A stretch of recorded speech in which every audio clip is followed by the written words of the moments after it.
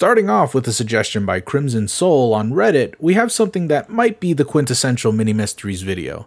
It's a video amusingly titled Red Wagon Pistachio Avery Secret Jersey Dance Laugh, and as much of a word soup that title is, the content is a bit stranger.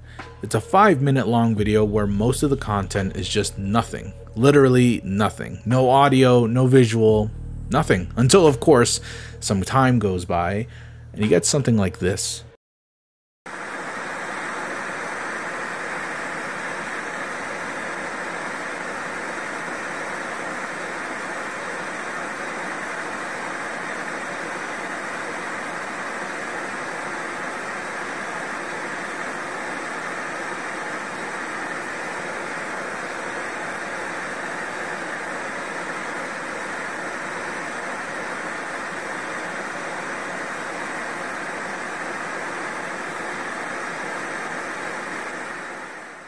Now it can't show you every single clip in the video, because as blurred out as it is, the video itself is very promiscuous in nature, specifically the parts where you can very clearly see a woman's breasts uh, jiggling.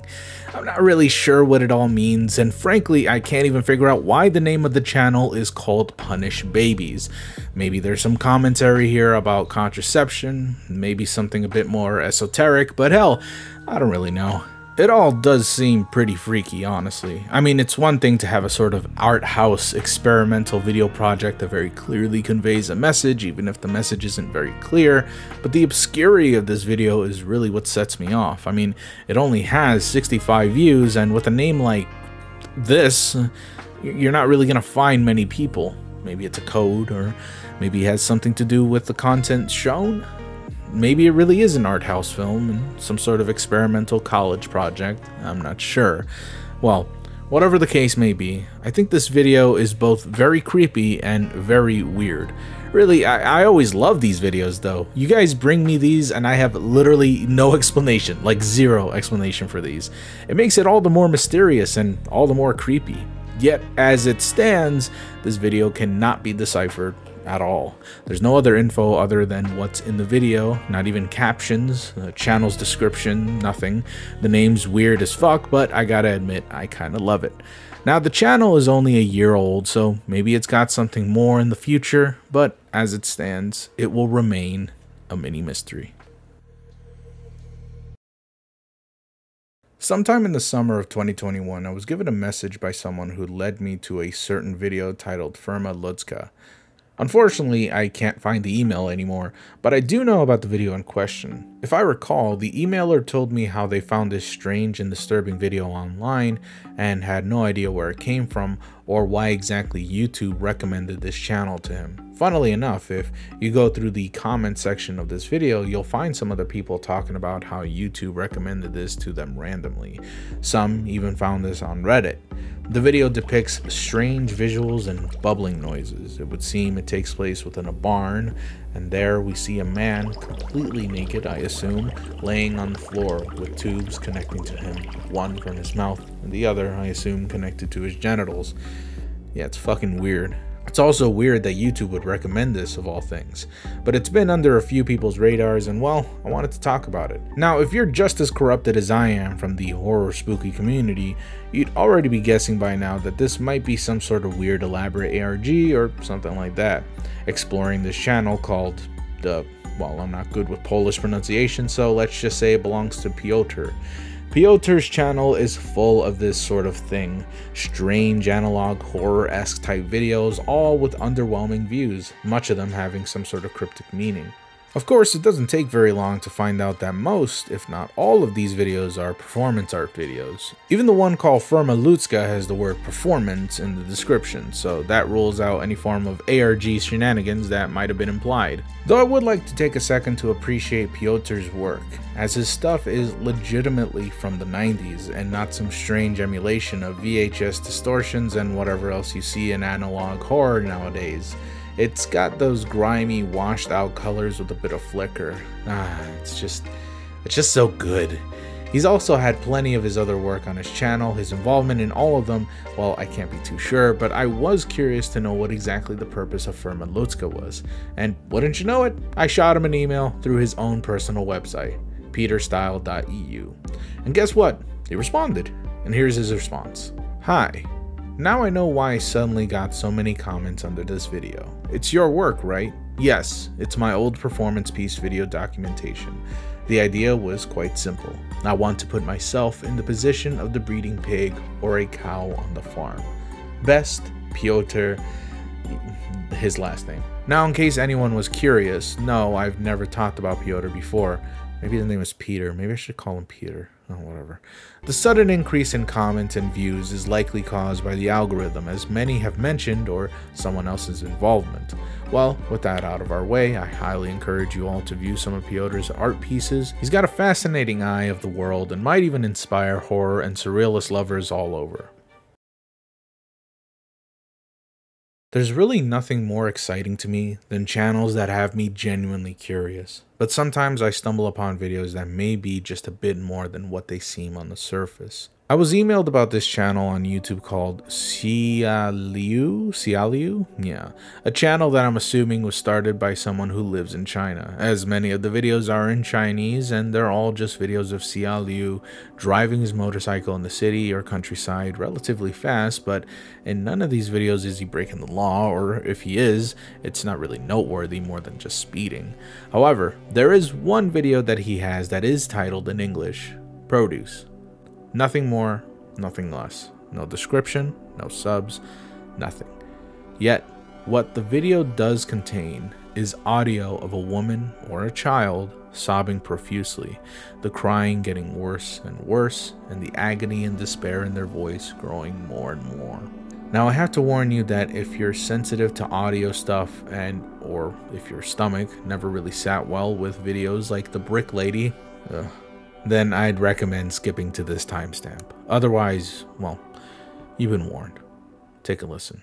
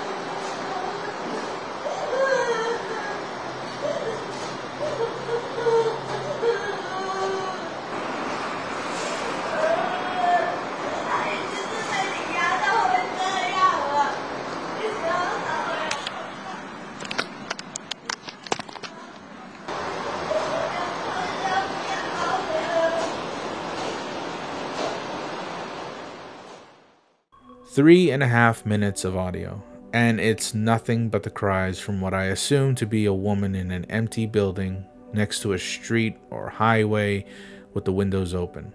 Because you can very clearly hear the wind and the outside. It also sounds like there's a shower running, maybe it's raining, could be either. Now, shockingly enough, you are able to hear her speak, but I can't speak Chinese, and I understand Mandarin is a dialect of Chinese, so I can't really determine if that's her dialect. Could be Cantonese for all I know. I'm not really sure. There are also a few times where you can hear her very, very clearly speak. So if anyone out here knows Chinese, please let me know in the comments if you can even understand her.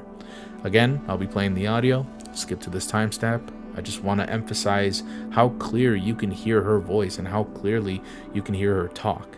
Take another listen.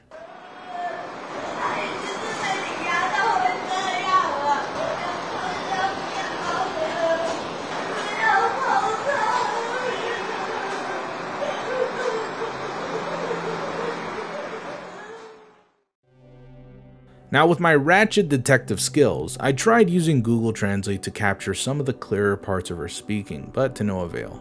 The title at the beginning, however, was translatable by Google and in English roughly translates to Howling, you take me to the hospital first. So what could it be? Well, let's dive into the deep end and talk about theories and work ourselves up from more logical theories. First and foremost, the more outlandish theory of most of us would probably assume already. automatically thinking that this is some sort of horrible crime happening. The title Produce could be interpreted as a sort of sign or code that gives away what's happening here a woman being carved and harvested of her own organs, begging her captors to let her go or to say that they're hurting her in some way or shape or form. The water droplets could be from the bathtub, the shower overhead, or perhaps a water hose draining away the blood. The building sounds empty with no furniture whatsoever. Likely, this is happening in an abandoned building where no one can hear or see what's happening. The title could be in reference of her crying, howling, and begging to be taken to the hospital. Maybe. Or it could be based entirely, literally, with no evidence. Or this could just be some crazy lady in the hallway of some guy's apartment screaming and throwing a tantrum. The guy maybe was recording the audio as some sort of proof that this was happening, maybe to show the police his evidence, or maybe she was begging one of her neighbors, the guy who captured it even, to be taken to the hospital because of some sort of pain. That doesn't really explain the title though, does it? Well, then that takes me to my third theory which is simple and very boring, but it's one that makes the most sense to me at least. And it's just random audio of this guy watching a movie or a porno and learning how to edit. Produce can actually be read as produce. It actually is a very common default type name for projects in a lot of video editing software. I remember when I first started editing, my videos were made using a really weird Chinese made editing software, and by default, each new project was just titled Produce, or Produce 1, Produce 2, etc. It would explain the weird edits halfway through, the titles, the stock image of flowers, that likely came with the program, but still wondering why exactly this person decided with this audio and whether or not that was a good idea to use some sort of, I don't know, practice for his editing skills, I, I, I, have no idea. This still doesn't really answer why the very beginning of the video is titled Howling, Take Me to the Hospital, so I have no clue. Ultimately, though, if it's really just nothing more than what I think it is, then it's just some weird funky video from 10 years ago that has no real merit or worth, just like billions of other videos on YouTube. But if by chance this is a recording of something truly despicable, something incredibly vile as human trafficking or organ theft, then this video is not only illegal, not only a portrayal of real human suffering, but the people who recorded this 11 years ago might have likely gotten away with it, and they will most likely never be found. And this is the shadow that was last left behind before they disappeared. Okay, this one is really, really weird. It's freaky. I, I tried to put it in Traumathon, but I had no idea if it was like too niche for that. But okay, listen. I just want you to listen to the following song I'm about to give you. Don't worry, there's no jump scare, there's no loud noises, there's not even a creepy face, I promise. What I want you to do for me is to just listen to the song in its entirety. It's only about a minute long, so you don't have to listen that long. And I want you to just leave a comment down below. Tell me what emotions you feel, what sort of vibe you're getting. Just tell me what you think of this song, what it says to you emotionally. All right? Okay, take a listen.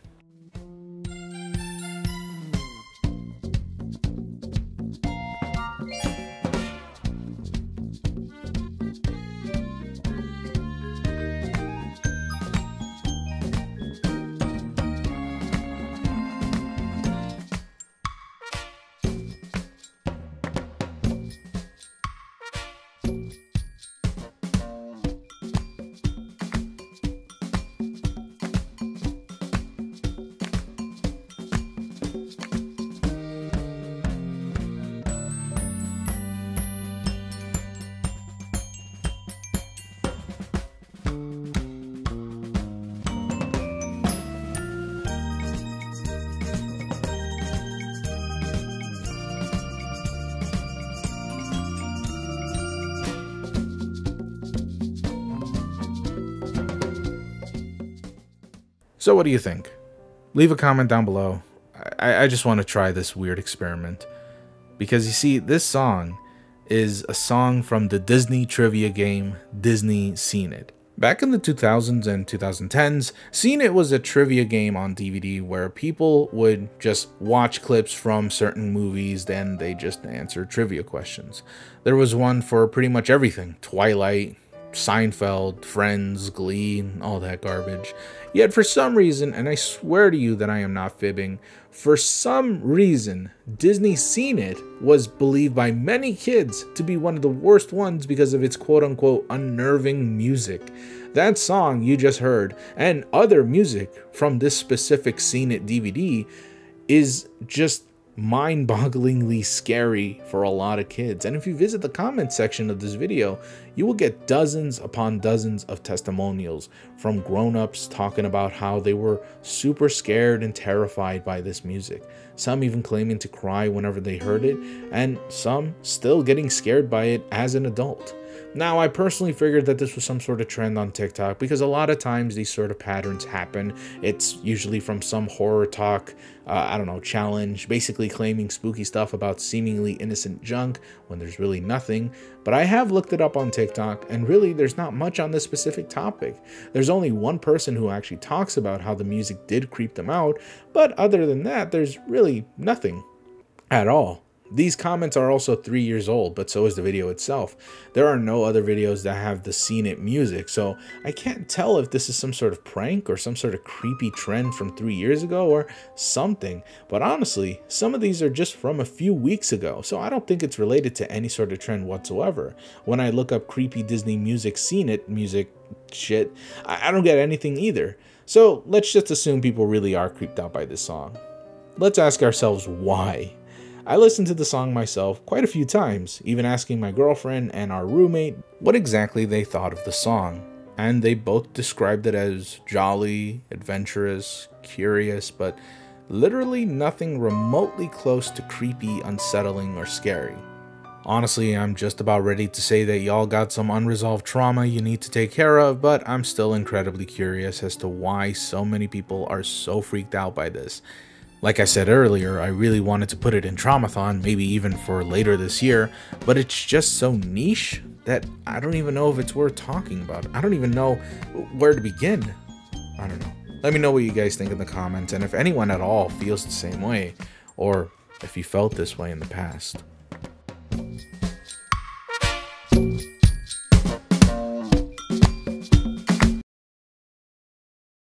This next story is one I'm shocked to see very little coverage of, especially when you consider just how massive the fan base is. Since the inception of video games, gamers have been fascinated by the process behind the scenes and what it's like to make video games in general. It's those parts of the industry that we seldom ever see coverage of, unlike movies and TV shows who always seem to have behind the scenes content included somewhere. Video games get almost nothing. And while sometimes what we learn isn't always let's say, the most flattering things to hear about a game studio or a gaming development company, it's this sort of unknown knowledge that has us curious as to what happens while games are being developed. There are many games that have people curious, but some pique our interest more than others, and one of those games is Sonic the Hedgehog 2. Seriously, this is the game Sonic fans love dissecting more than any other. There are tons of lost levels, assets, concepts that people love digging up, and with more and more prototypes and demos getting its files re-uploaded online, we get to see the glimpse of how this game was made, the thought process, and all the other things in between. But something was found within Sonic 2 that nobody would have guessed to find. This is Bobbin Face an image or perhaps an animation that could be found within one of Tom Payne's infamous box of discs. To summarize, a former artist for Sega Technical Institute, aka STI, was contacted by Sega fans back in 2004 and 2009 about what he did during his time working at Sega, specifically what he had worked on in Sonic 2. Tom claimed he had a box of old Sega assets, including maps for Sonic 2, character designs, enemy designs, backgrounds, assets, animations animations, and a ton of other things in a small box of discs. At the time, Tom was only about able to share a few of his creations online, most of which was never seen, as most of his creations just remained in the cutting room floor. At the time, this was a big deal for Sonic fans and digital archaeologists who were curious about Sonic 2. Then, about 10 years later, Jason Morehouse, owner of Nostalgia Alley, located in San Francisco, had a random encounter with Tom Payne, where he had shortly discovered that he was once an employee of Sega. Interested, Jason asked if he still had any of his old stuff, to which Tom Payne soon revealed his little box of old stuff. Jason, being someone who can archive old files, asked Tom if he could take the stuff to re upload and archive the files online, and so Tom agreed. Jason, along with the help from the Video Game History Foundation, swiftly went to work and dumped all the files online for everyone to see. You can check out all the files that were dumped in the description down below. There'll be two different links. One will be leading to the interview with Jason, and one will be leading to the cutting room floor, where you can see a majority of everything that was found. And so we come back to this. This weird, unnatural, super cursed image. The image itself just has a man with a weird smile giving a peace sign to the audience, while the gates of hell are just waiting right behind him. There's also a sprite sheet for his face, which indicates that this can be animated to show him winking or sad. Oh, yeah, let's not forget the bullet wound oozing out blue blood. If you think that's freaky, Bob here seems to have his own room, filled with just Bob's face everywhere. Yeah, it's, uh, it's not really any better, is it? But as freaky as this is, there's no real telling what this image was supposed to be for, if it was ever meant to be for anything. Maybe a background image for an unused level, perhaps even a cutscene? Nah, I doubt it. But I do want to stress that as creepy as that is, the sort of stuff is usually hidden by developers and artists within the game's files all the time. It's often a way for devs to vent out frustration or to just have fun during their own downtime. Usually they don't expect anyone to find it sometimes this sort of stuff is aimed at higher ups, you know, to clown on them, either in good faith or bad. Most of the time, though, it's often due to frustration. I also saw someone theorize that this could be lost assets from a cancelled STI game called Spinny and Spike versus the Nightmare King. Some of the assets that were found from that game somewhat resemble Bob in some way, which makes sense. Tom didn't just work on Sonic after all, he was hired to do a bunch of art for a ton of Sega related games, most of which were cancelled. Despite this, I still think it's more logical that this is some sort of vent drawing from frustrated artists. That dude got a bullet wound after all, I, I doubt that's something you put in a kid's game at the time. I wouldn't be surprised if the dude just got mad at one of his higher ups, especially considering that Tom left STI because he believed they were quote unquote getting too persnickety. It could have been Tom, or it could have been someone else. Either way, I doubt he'll remember. I mean, this stuff is from 30 years ago. I doubt the dude remembers all the things he drew or did or the times he got mad. Oh well. I guess we'll only have to wait and see. Maybe in 2029, when some random dude finds him walking his dog or drinking at a cafe. I don't know. The world can be small sometimes. I was given this email about two days ago, and ever since then the following topic has been growing. So I'm making this video as fast as I can because I know for a fact that I'll be incredibly uninterested once everyone else gets their hands on it. So the back rooms, that's a thing. Actually, it's one of my favorite concepts to have come out of like pre-pandemic era of horror. It's essentially describing rooms found within a separate space within our reality that sort of acts as test rooms for our world. Sort of like when you're in Gmod, for example, and you turn on NoClip, and then all of a sudden you're phasing through the world and finding hidden rooms. These kinds of rooms can be found in pretty much any video game, whether they're 3D or 2D. They're used to test items, test physics, maybe even act as load-in rooms for certain cutscenes, but whatever the case, normally people can't go there unless of course they cheat. Though sometimes you can accidentally get a glimpse of these areas, or maybe even stumble upon them by accident. Well, that's seemingly what happened when one Reddit user by the name of OutExit4 found out when he was just exploring Google Maps one day. Using the following coordinates on screen, the user was able to find a strange area somewhere in Japan that looks similar to a silo or something. Then, when using Street View, they found this room, this back room. Also, a tiny robot friend. Hello. Unfortunately, if you try to enter the back rooms now, well, you might not be able to, as I've tried for a couple of minutes, even waiting for about two hours, but while the spot might be there, it just won't let me in. Could be that Google learned about this place and decided to take it down.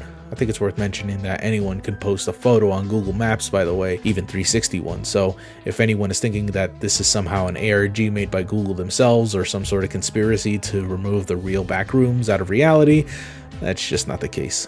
Of course, this wasn't the first sighting of the backrooms, as shown by another Reddit user just four days ago before this post went up. Someone by the name of Glarto345 had found a separate liminal space somewhere in the middle of California in a national park. This particular area looks closer to what people think the classic backrooms looks like, even with ominous writing on the wall instructing everyone not to look up the backrooms or they will fall. That's pretty spook. Oh my god, hi! The third location I'm not really sure who posted it first or how anyone found it, but it takes us all the way to Florida, specifically found in Cape Romano, where we see the Cape Romano Dome houses. Of course, when we go into Street View, plot that little motherfucker down, wouldn't you know it, it's spooky. Last one, again, not sure who or when it was found, but taking these coordinates will lead us to Canada. You know the drill, get that yellow bastard, drop his ass, and oh wow.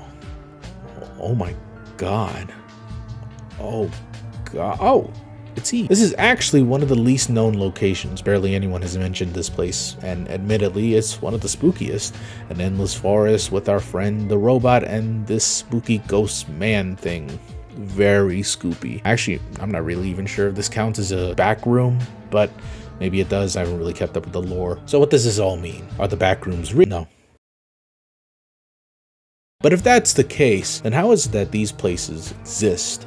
Two of these locations were posted in 2022, this year, yet the rest were posted either in 2011 and allegedly this one place with the infinite hole that I can't enter anymore was supposedly posted in 2013. Mind you, the Backrooms wasn't even a concept till around the summer of 2019, where it originated in a 4chan post. At least this is where it's more commonly known to exist from or originate from. From there, the lore dives deep as more user interest fed into the myth and it became this massive cult following ever since. It's really unknown just how exactly these photos were posted so many years ago when nobody really knew about it back then. And you'd figure, of course, even if these really were posted back in 2011 or even in 2013, someone somewhere must have found out about these images in that time frame. I mean, if we can find these obscure images on Google Maps, then there's no way someone could just miss this, all of this. My guess is that whoever made these images must have edited them in post, as in this must have been some sort of image beforehand that was just a regular picture that was just replaced with this 360 shot later in the future.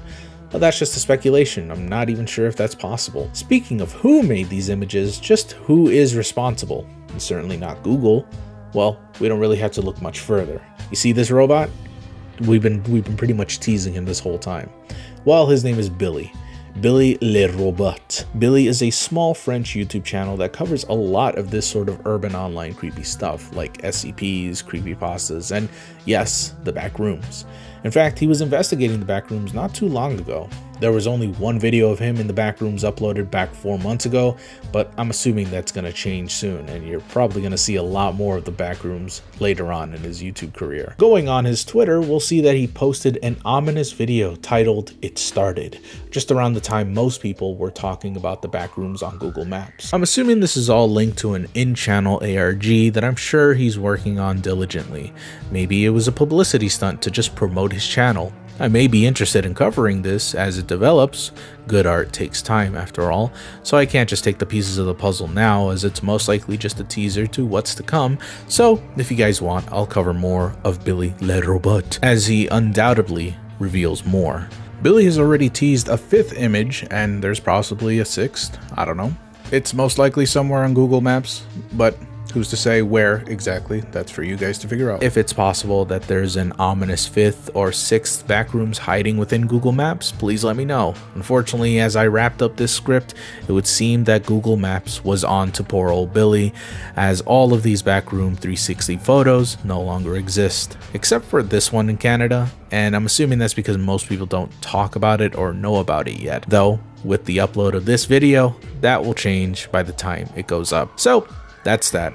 It's a fun little game made by a funny little robot who has an honestly underrated channel. Seriously, please check out Billy's videos. I, I think he's got some wonderful stuff and I applaud devious shit like this. Oh, great. Oh, great. I got a phone. It always goes, I keep forgetting to turn it off. He's got a lot of cool stuff. Really, I mean, it, it's really bold of him to just upload all of these on Google Maps It probably explains why there are several accounts, by the way. One of them called Billy, so that would have tipped it off. He probably knew he was going to get banned for each upload, so yeah, it was smart of him to just upload from different accounts. Either way, that was it.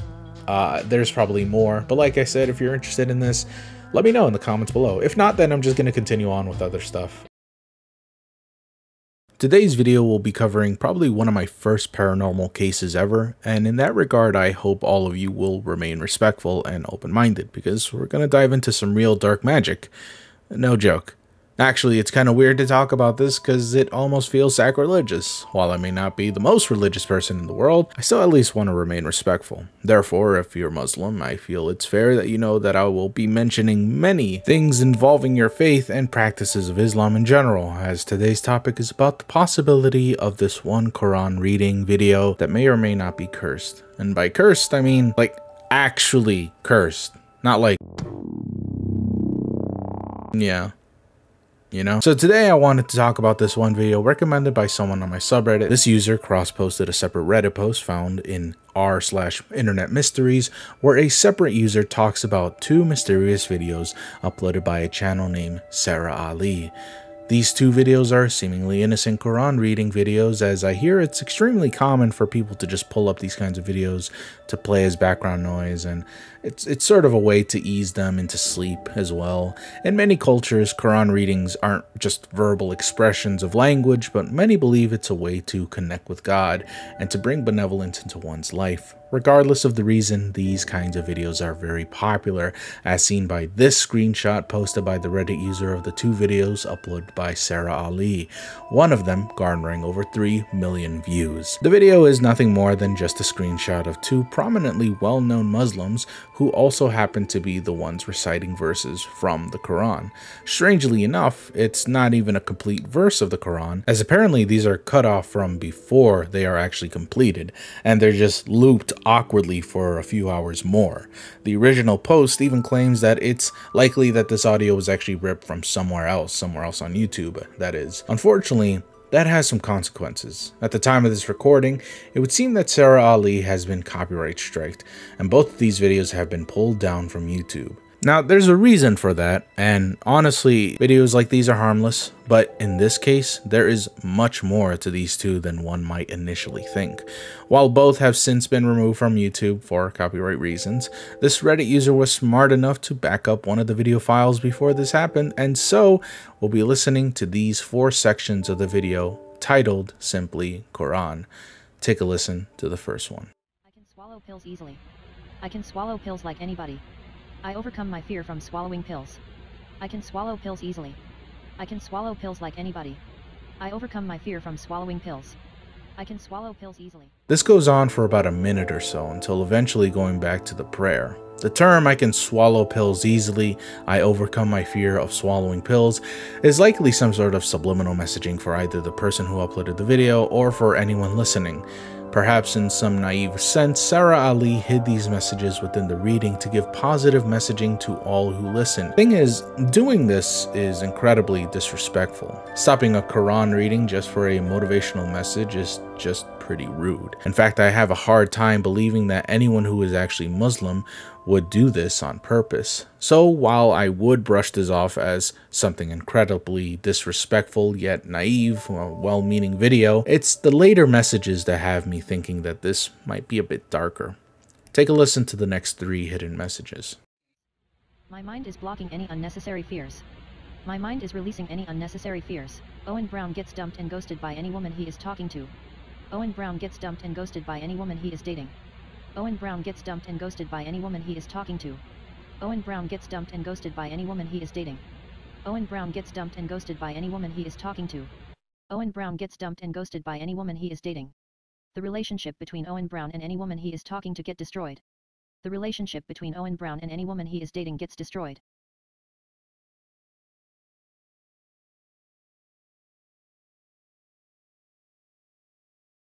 Brown is spending the rest of his life with me. Owen Brown is spending the rest of his life with me. Owen Brown is coming back to York University for me. Owen Brown listen to every word I say to him. Owen Brown listen to every order I give him. Owen Brown listen to every word I say to him.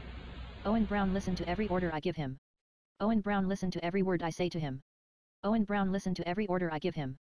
Owen Brown listen to every word I say to him. Owen Brown listen to every order I give him.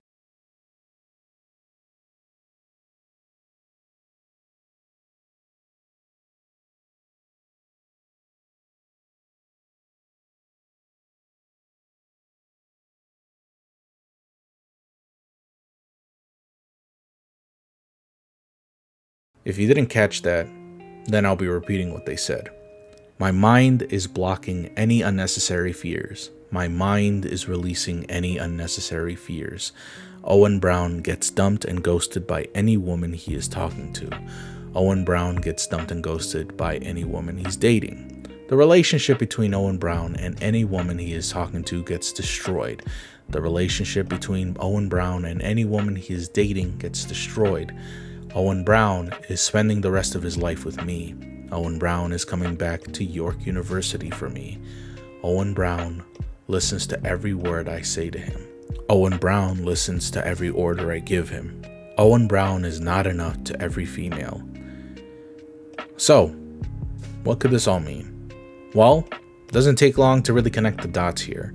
Reading the Quran is much like praying, and for many Muslims, prayer brings good health and it provides answers to problems they face. Yes, they can ask for things, but true prayer doesn't necessarily ask for the demolishment of one person's life. So, knowing this, I came to a conclusion. This video is cursed. Now, how did I come to that conclusion? Well, this video reminded me of chants given to higher beings made by cultists and in black magic in general, more often than not when they try to get something that they normally could not obtain. And in this case, I first thought that whoever this was was probably using these phrases to hypnotize or indoctrinate Owen Brown, the, I assume, man that she wants to be with while he listens to the video. The OP and the Muslim community also agree, as stated in the post.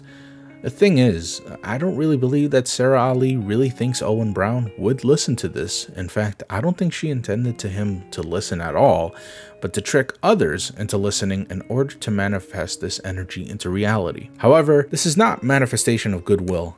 In fact, this is incredibly manipulative to the point where I thought that maybe, perhaps, it could be some sort of curse, a chant. As mentioned before, you see this in black magic a lot. And while the Quran would normally prevent black magic from manifesting, especially during a recital of a certain verse from the Quran, I believe Sarah Ali is using the energy from everyone who is listening and praying alongside these videos and using that energy into a spell. And the reason I'm coming to this conclusion is because I am currently dating someone who is both Muslim and Southeast Asian. When I brought this up with my partner and how it could be the work of black magic, she came to the conclusion that it was similar to something called Santau. Sun Tao is a term that describes poisonous black magic that is sent physically or transparently to a victim. In other words, these are curses that some people within Southeast Asia perform, either to gain what they want through force or to influence others into doing their bidding. I don't know if I've mentioned this before, but in Southeast Asia, this sort of paranormal stuff is a strong belief, so much so that it can be argued as a fact to some. It's so well believed that even politicians have been caught performing black magic against their rivals.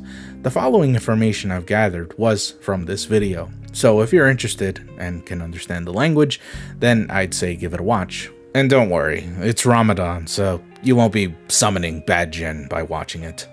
Anyway, according to this video, Santau comes in three parts. Santau Zahir, Santau Gaib, and a combination of both. Santau Zahir is the physical manifestation of a spell, either to enhance or to perfect something. People who perform this sort of spell often use real world conduits such as venom or toxic herbs or other things such as the sort. These kinds of spells need to be physically performed or ingested through the victim's body, either by eating the spell, applying the spell to the skin, injecting the spell into the victim's blood, smelling it, or any combination of these four. Meanwhile, Santau Gaib is the opposite. As opposed to being physical, this is completely intangible. This is more akin of what most people think a spell is. It is more aligned with the practice of demonology, coercing demons and spirits to do your bidding, etc. However, it's much more strict and more complicated than being buddies with a demon like in Shin Megami Tensei. In fact, the rules are incredibly strict, so much so that it can often lead to the downfall of the caster as opposed to the victim. Notably, there's one form of Santau Gaib that matches what we're talking about, and that being Seru. Seru means to call or to invite, and it's a form of Santau Gaib that utilizes speech, text, symbols, and drawings. With this curse, you can make your wishes come true, but again, it's incredibly strict, and, uh, well, not so fun fact, it requires an animal sacrifice. Now, notice I said text and speech. If we were to believe that this is in fact a curse, then the bigger picture begins to get much clearer. Sarah Ali is likely a former student of York University. In fact, we know there is 100% a student who used to be in York University because there exists a LinkedIn profile of a Sarah Ali that went to said university. Moreover, she is stated to live in Toronto, where York University is located. There also exists another Sarah Ali who attended York College in the UK, and wouldn't you know it, she attended around the same time these videos were uploaded. Is it a coincidence? Maybe. Regardless, it's likely here, when she used to attend, that our Sarah met a man by the name of Owen Brown. Owen must have been someone she really liked, perhaps even obsessed over. It's very clear that she was jealous of him, perhaps even stalking him, as we hear in this video that she wanted Owen Brown to fail in every relationship he had with every woman he ever met. Except, of course, her. She even mentions him coming back to York University, implying that Owen Brown left. What's more, this is very much malefic in nature. It's not some sweet love potion or some love hypnosis or whatever. It's very clear that Sarah Ali wants to control Owen, all of his life aspects and his romantic life in general. She repeats in the video that Owen Brown will obey everything she says. Owen Brown will listen to every word she tells him. This is not a sweet romantic thing, this is a manipulative relationship, and it could be much more harmful than we think. Look, getting past the whole paranormal aspect of all of this, Sarah Ali could in fact be a real human being who really believes in this. Whether or not you do is irrelevant. The point is, this woman could be feverishly obsessed with Owen Brown to the point where she could be considered a stalker. Nobody in their right mind would post a video of a Quran reading and hide subliminal messages of manipulation to one specific person unless they were sick enough to cause them harm or believe that they could control them by any means necessary. Now, this is but just a slice of what could be going on. I'm not familiar with other cultures out there that also practice black magic, but I'm assuming that in many cases it'll be similar to what I have explained. It could be that this isn't really black magic and that it could be just some way of manifesting something in Sarah's life, but regardless, it is still done with ill intent. There's also the matter of the first video, which is 10 hours long yet no longer exists. Did this too have subliminal messages? Well, I was able to actually find the video, as it was re-uploaded by someone that I'm assuming didn't know any better. Yes, this is the Sarah Ali edit, and yes, there are voices in this one too. However, this one is far more subtle and it's hidden underneath the prayer. Unfortunately, I can't show you that one part of the video due to copyright infringement, but I can show you at least a second of the video to show you that there is still mumbling within it. Take a listen. To any female except me. Owen Brown is nobody to any female except me. What's interesting to me is that many people in the comments section actually acknowledge the muttering, and some even go as far as to call this a spell. Just as I explained earlier, though some have claimed that this is somehow a spell or a curse meant to control someone, many others believe that Owen Brown is actually not a real person at all, but in fact the name of a jinn. But like I said earlier, whether or not you believe in the paranormal is irrelevant because the fact is, this person, Sarah Ali, probably does.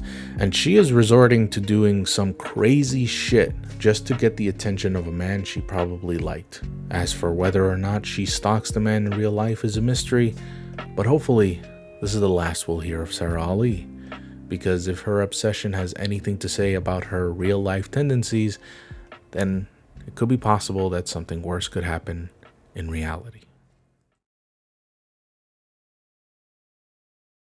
So starting off with a very quick update, the previous mini mysteries episode we did was about a strange channel called Punish Babies.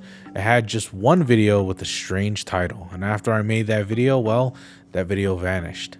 Curiously enough, the channel does exist, so I'm guessing one of two things happened. Either YouTube took the video down because it broke some sort of guidelines, I don't know, YouTube can be weird like that, or the creator of this channel decided to take down the video themselves, for whatever reason, I'm not sure. But checking back on my computer's hard drive, I actually still have the video right here. So in some way, I'm kind of the current owner of Lost Media kinda. I mean, I'd, I'd figure lost media is just lost TV shows or movies, not really this. anyways, now obviously I'm not going to re-upload the video because, well, I don't want to strike on my channel if this video is somehow not YouTube friendly, but also, well, it's not my video. It's really not my content to share. If the uploader wants to upload it again, then that's on them, not on me. But yeah, thought that'd be interesting to share. Remember the time when days felt shorter? When you guys begged to stay another day at the camping park? The view of the Grand Canyon? The road that took us there? My happiest days. This is my happiest days, an ARG or unfiction channel. I don't know what to call these anymore. Either way, I'm probably wrong about someone archiving VHS tapes from the 70s and 80s. The contents within these tapes contain information from when the creator's father, Morgan Turner, used to work for Canyon Computers, where he designed the Field Computer Mega Farm and the Turner Assembly, a machine that could potentially make humans immortal. Now, oddly enough, despite this being the channel trailer and the overall narrative this channel wants to push, this introduction is actually three months apart from when the first video actually was uploaded. Yet most of these videos are about the Turner assembly. Even more curious is the video titled Different, which is, well, different from the rest, as we can actually see the narrator comment on the strangeness of this one particular tape, despite them all honestly being very strange. This led me to believe that this entire channel is out of order. The upload order does not correlate with the story's order, but which ones come first is easier to answer than which ones come after, as each clip is esoteric in nature and, well, kinda unsettling.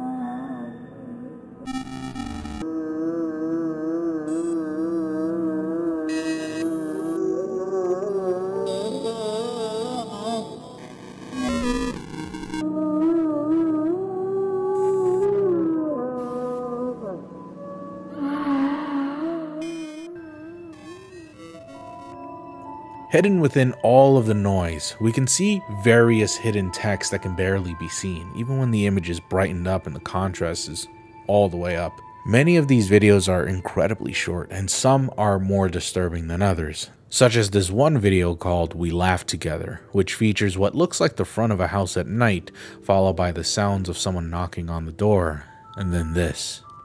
Damn it, damn it,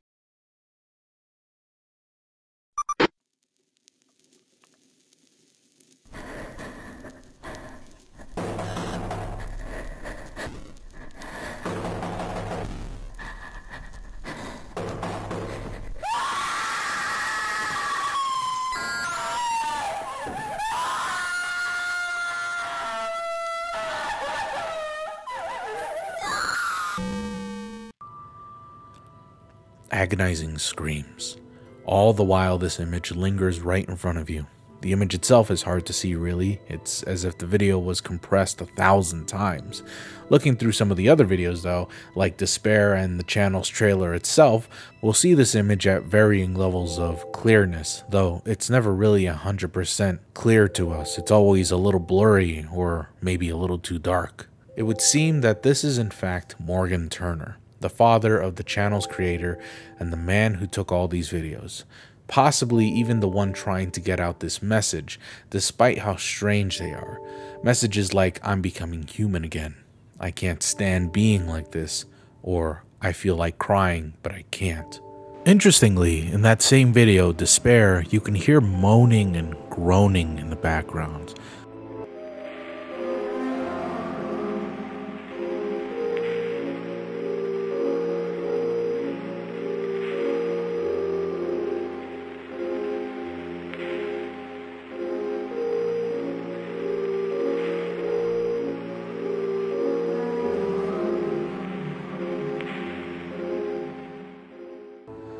Something's happened to Morgan Turner, and these videos are meant to show his despair and anguish. His only available actions is to remember the good old days. His memory of his family is the only thing keeping him going, and constantly he apologizes to them.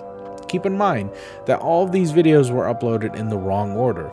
It would also mean that these tapes are in the wrong order as well. So there was a point where Mr. Turner was sane, at least as sane as he could be, but then slowly began to lose his mind and possibly even his human form. It would also seem that whatever happened to Morgan Turner is happening to his son, as we can see that with not only the upload dates being out of order, but in the community tab itself, as the uploader constantly posts almost nonsense nonsensical posts sprinkled with some paranoia.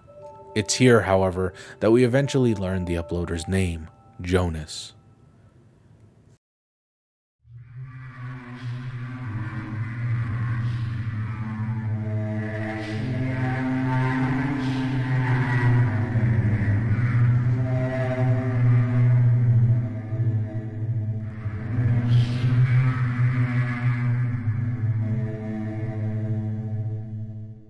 Now, this is undoubtedly an incredible well done unfiction, and it seems to keep going, even as recently as last month. The last two videos uploaded by the creator were incredibly well done and dive a lot deeper into the lore of this channel. The production itself seems to have gotten better, the effects are superbly done, and I'll be honest, it is a hauntingly scary channel that I am really eager to revisit someday. I mean, I'm a stickler when it comes to formatting, but forgiving the format for a second, I mean, seriously, this resembles more film reels than VHS tapes. The sound design on each of these videos are hauntingly well done. Like, really, the only thing I wish this channel did differently is the narration. I am not a fan of the obviously spooky voices trying to be spooky.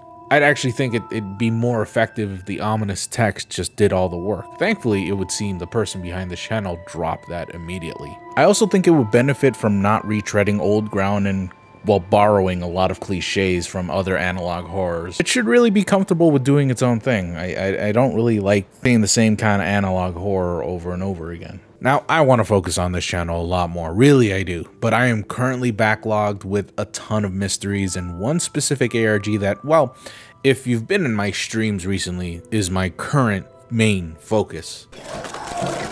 Someday I will hopefully revisit this channel, as there's a lot that I actually purposely omitted, details that I feel would be way more fun to discover yourself. Seriously, I don't want to ruin the surprise that this channel holds. I, I think all of you should experience it yourselves and tell me what you think.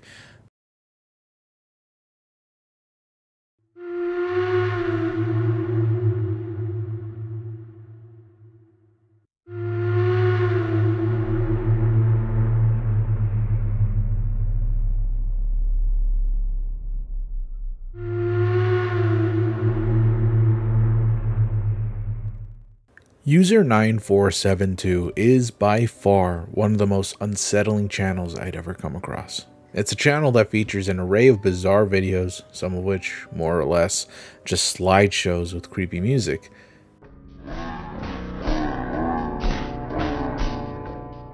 And though they often aren't anything more than that, I'm honestly just so fascinated by the amount of nothing this channel has to offer, even down to the titles. The sounds featured in every video are just so unsettling, and the images, even more so.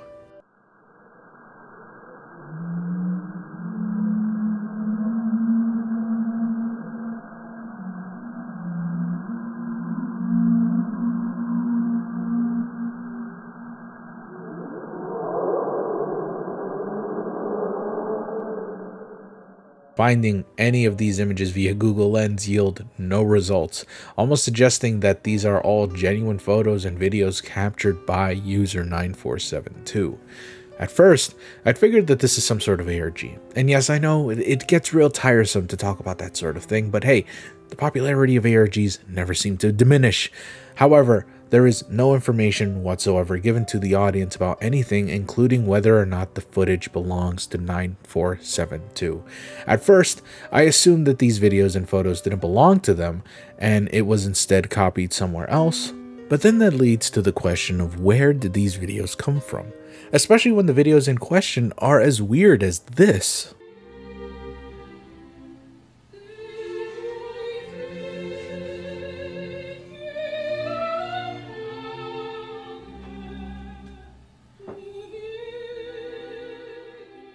Actually, what's messed up about this video is that it's apparently categorized as kid friendly, seeing as how the YouTube Kids logo is right there, so you know, that's kind of shitty. The fact that none of these videos have titles or even any info is really concerning when you consider that this channel has a few videos that seem, well, more than off-putting. The ones that I'm referring to are these three videos. One video features a naked woman biting onto a raw fish in the middle of a lake who seems to be on the verge of crying. Her back is sweltered with what seems to be bruises and cuts. I honestly thought I saw this image somewhere before, and the pixelation almost makes me believe that this is from some movie or show, but I just couldn't get anything. It'd be very concerning if these two videos, or should I say photos, actually belong to a real missing person, or worse. Then there's this video, which again features two very strange photos, one featuring a person whose face is blurred out, while another shows the top of someone's head.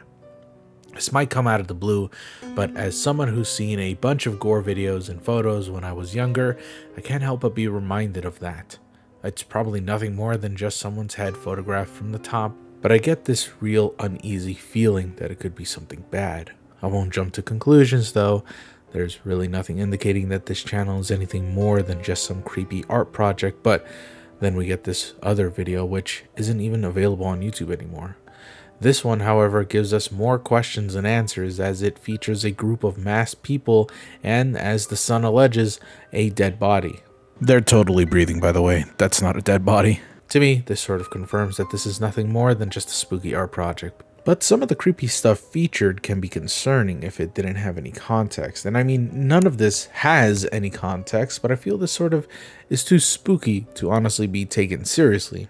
You know what I mean? Now, I am aware that some of these videos have descriptions, but they're very nonsensical and really hold no true value into identifying the purpose of this channel or the people behind it. There's only one video that has Morse code for a description, which translates to fucking nothing. Yeah, I think it's safe to say there's really not much going on here. Or who knows, it could be some serial killers taunting and flaunting their kills and elaborate traps if we're allowed to think fantastically, at least. This one video here portrays a small room with a door that's locked, which could indicate where this person holds their victims hostage. Apparently, these videos all usually get deleted and then re-uploaded, so there's actually quite a few videos that just don't exist anymore or are currently unlisted. This channel has been around for four years now, so I think there's actually quite a considerable amount of content we're just not seeing. In fact, just as I was writing this script, a video featuring a hand rubbing what seems to be blood on their stomach is actually gone and it was only through Pixels After Dark's video that I was able to find it again. Actually, he has a few more videos that user 9472 used to have on their channel, but no longer has them, so I'd recommend watching Pixel After Dark's video for more information. Though what I will say is fascinating is the fact that at some point these videos did have titles in Italian, yet for some reason many of them are gone and every title is completely blank. Whatever, Maybe someday we'll get answers that we're looking for, though I highly doubt it. Haruto Ito is a bittersweet horror channel to talk about. Actually, saying it's purely horror is kind of misleading.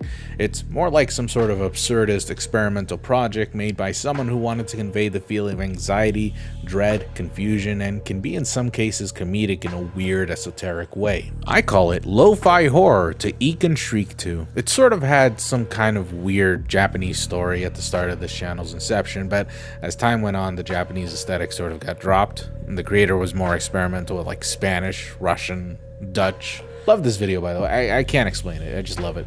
Yeah, it's hard to really say what I feel about this channel. I remember stumbling upon this channel about a year or two ago and thinking it looked kind of cool, maybe even cool enough to talk about, but as time went on, the channel became more and more confusing, not really having any sort of end goal or meaning whatsoever.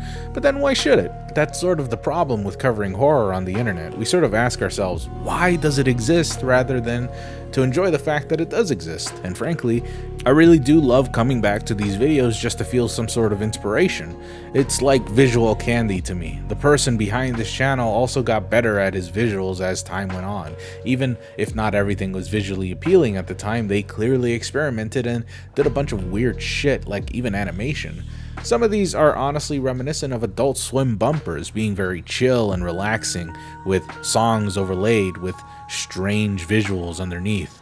There's something homey about them. But of course, then we have these kinds of videos which completely contrast either the video before or after it, but I don't mind too much. I think the person behind this channel just wanted to goof off and do weird shit, maybe even slightly horrific shit. I don't know why I said it like that. I can also definitely tell that there was an overarching story written here and there with this one face being constant early on in the channel's existence, but that too was soon dropped. That's why it's a bit bittersweet to talk about this channel. Because earlier this month, the creator of the channel uploaded a video which was titled End, in the description, the creator, Haruto, decided that they were done with this channel and wants to just focus on their real life. Maybe they'll come back, but maybe they won't. Who's to say? I'm just happy it existed because frankly, I kind of just like what he did. The visuals mixed with the music, and I, I just, I don't know, I like watching weird stuff without really thinking too deep on them. I hope you feel the same way. I mean, I figured some of you might like what I just showed you here because we often share the same taste in weird shit.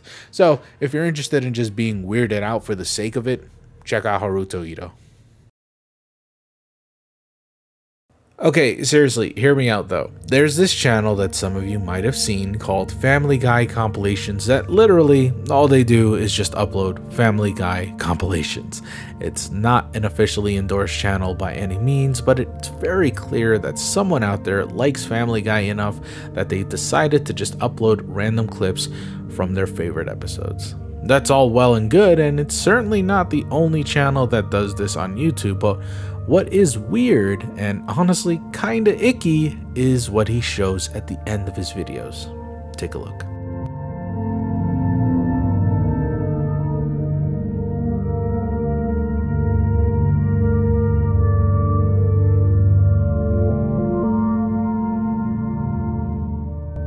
So yeah, kinda weird but certainly nothing nefarious, right?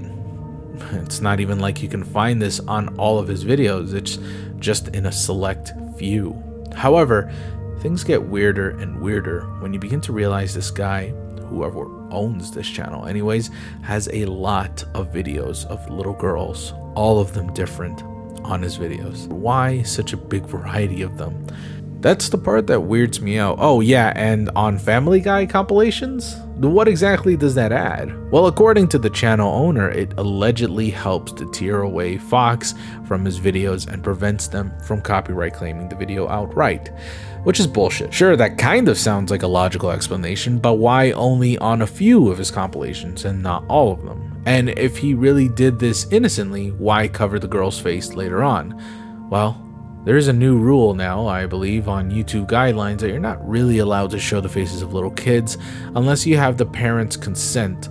So maybe that's why, but if that's the case, why not just use, I don't know, stock footage of a raccoon? Why put the extra effort in featuring kids at the end of your compilation? There's also this guy at the bottom right corner of some of his compilations, again added there as to deter away copyright bots. And it's like, okay, if that's the case, why not just use this guy? I, I mean, sure, it's weird having him there too, but not as freaky as just having a bunch of little girls be your protection against copyright. Some of these videos featuring other girls have since been taken down, and what you're seeing is my downloaded versions of these videos before being taken down. Some of you might be saying that they were taken down due to copyright issues, but I'm actually here to tell you that it wasn't. Actually, I have a feeling it has something to do with the kids featured here, because if this were a copyright issue, then YouTube would say video taken down due to copyright issues, as opposed to video deleted. This makes things a bit more questionable, and honestly, the reasoning is weak at best. Now, at the time of me writing this script, I noticed that a few details have been missing since I first found out about this channel through my subreddit r slash Gooseboose.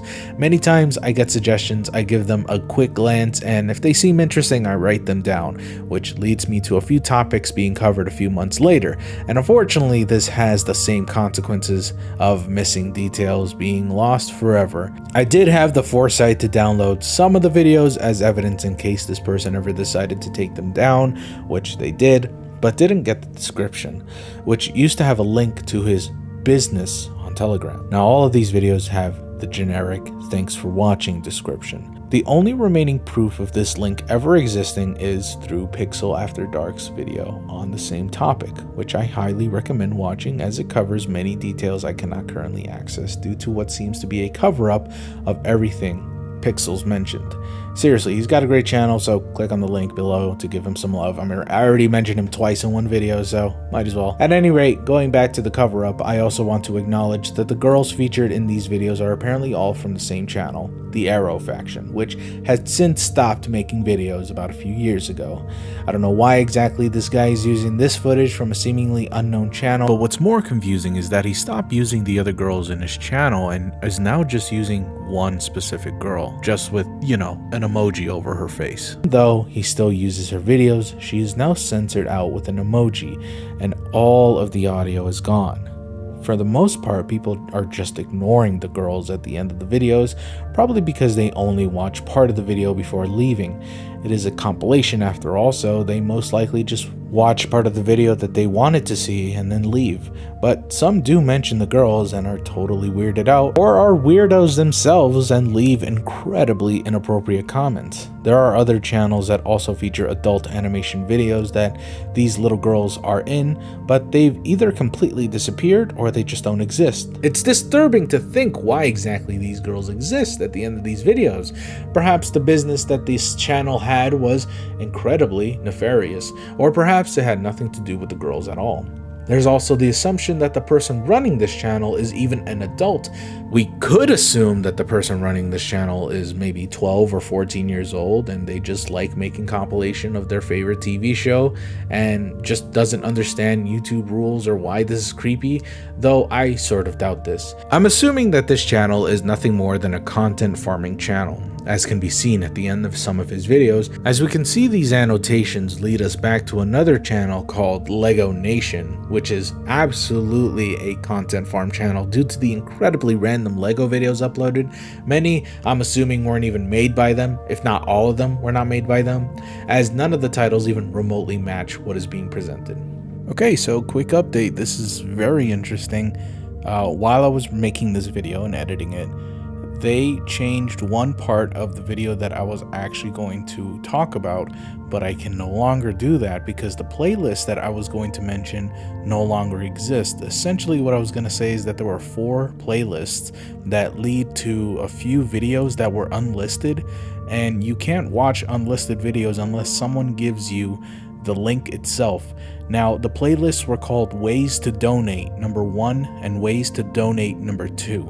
I have no idea what the unlisted videos were in that playlist, but it was kind of creepy because they had four each in the playlist that couldn't be seen, and now they're just gone. I have no idea how or why they would take it away all of a sudden, but I, now I can't talk about that one part anymore.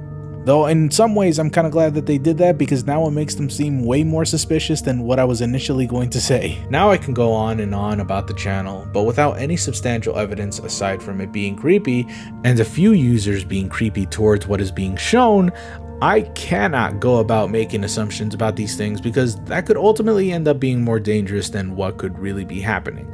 Ultimately, I highly recommend watching Pixels After Dark's video. Again, he was able to extract more info from what is already missing, and he goes a bit more in depth on clues that no longer exist. Check him out and be kind. When it comes to the seemingly infinite amount of content churned by YouTube users, there's always mysteries going on underneath the seedy underbelly of the site. Trenches that are seldom ever explored and places that are sometimes abandoned. Unknown Sunrise is one of those trenches. Now, I'll be straightforward with you. This entire channel is an enigma, and the amount of research I've done is so very minimal in comparison to the scope of this channel's history, as well as the amount of videos it's released. Be that as it may, I'll try to describe this channel as best as I can and interpret what I have found into possible evidence. Firstly, it is a channel that has existed for over six years. It's going to be seven actually in this June. Every video on this channel seems to be in reference to a book, at least from the title anyways. We'll get to that in a bit. For now, let's focus on the content of each video. You ready? Well, have a look.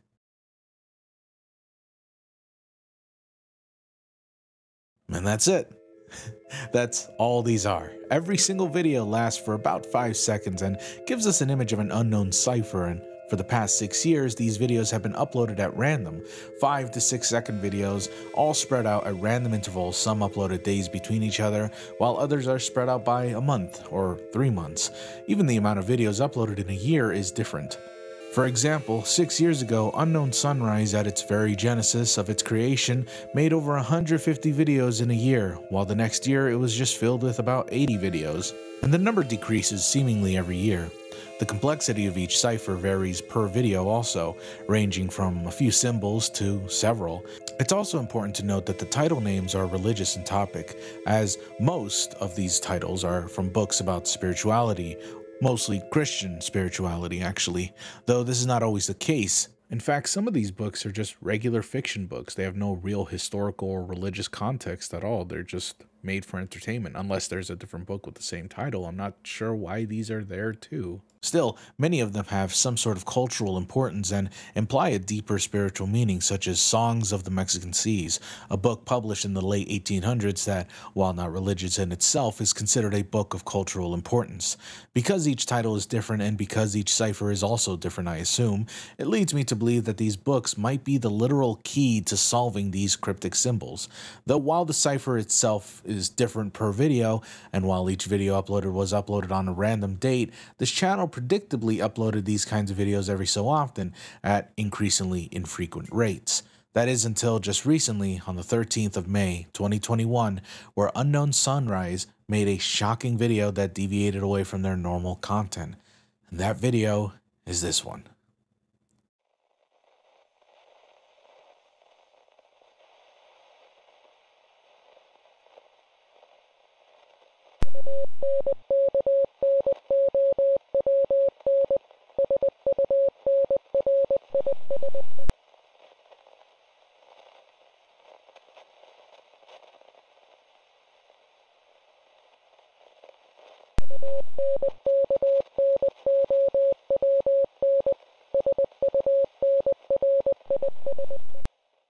And that's about it.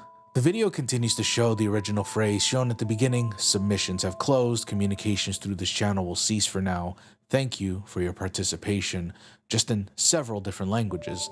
The Morse code you hear throughout the video is spelling out the channel's name, Unknown Sunrise, and the Morse code itself is on a loop throughout the whole video. Though interpreting this video, we might see that the entire channel was a test of some kind, a test that required submissions from those interested in continuing further on whatever this may be. Although it is interesting to note this one phrase, submissions have closed.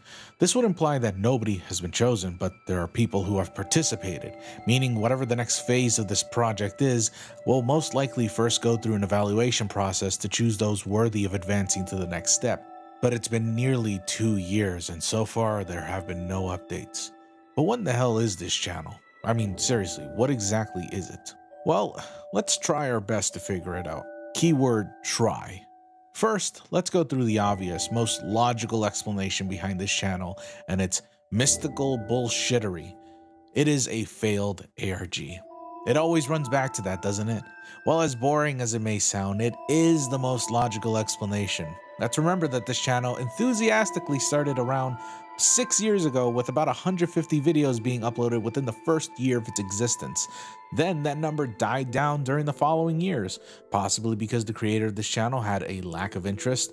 And if you've ever been in a position where you had to entertain people, but they never really deflected that sort of energy back at you, then you know how it would feel to show your interest to people who don't really care or to nobody at all. It's just the law of diminishing returns, really. Well, that's a very easy out. We can just clearly say that about any channel we've ever looked at, honestly, and really have no clues or evidence that says otherwise. But even if it were a failed ARG, it's quite an interesting one. I mean, I've never really figured out what any of these said, and it's kind of hard to find the answers to any of these videos at all, but it is pretty important to know that there are a lot of titles. Most of them are unique. In fact, I don't think any of them repeat at all, and it is worth noting that the ciphers themselves have never been figured out. Is it because they're bad puzzles, or is it because they really are cleverly disguised? We'll learn later on exactly what these symbols are, but for now, just know that this was not some simple ARG that was made by someone who really gave it no thought. Someone did give this a lot of thought. It's not just Morse codes and really simple ciphers that you'd see like binary or something like that. It's something actually pretty complicated. So somebody would have to have a sort of knowledge or a passion for these sorts of puzzles to actually create something pretty in depth. And well, it is really in depth. So if this channel isn't some sort of failed ARG made by some random kid on the internet, then what could it be? Looking for the more fantastical ideas, we can speculate that it might be some sort of initiative close to Cicada 3301, which, if you don't recall, was a series of puzzles given to the public with the intent of finding, quote, highly intelligent people, unquote. Nobody has really ever solved exactly who Cicada 3301 is or who they are, if there's multiple people involved, or if it's some sort of organization, or really what their entire objective was. Despite the fact that many, if not all, of the puzzles have already been solved, though I doubt it's as in depth as that. Cicada 3301 had several outside components, whereas this one puzzle seems to be just entirely based on this channel. What even is the puzzle actually? As I speculated before, the titles might be a cipher to decrypt these symbols, but what exactly are these symbols anyways?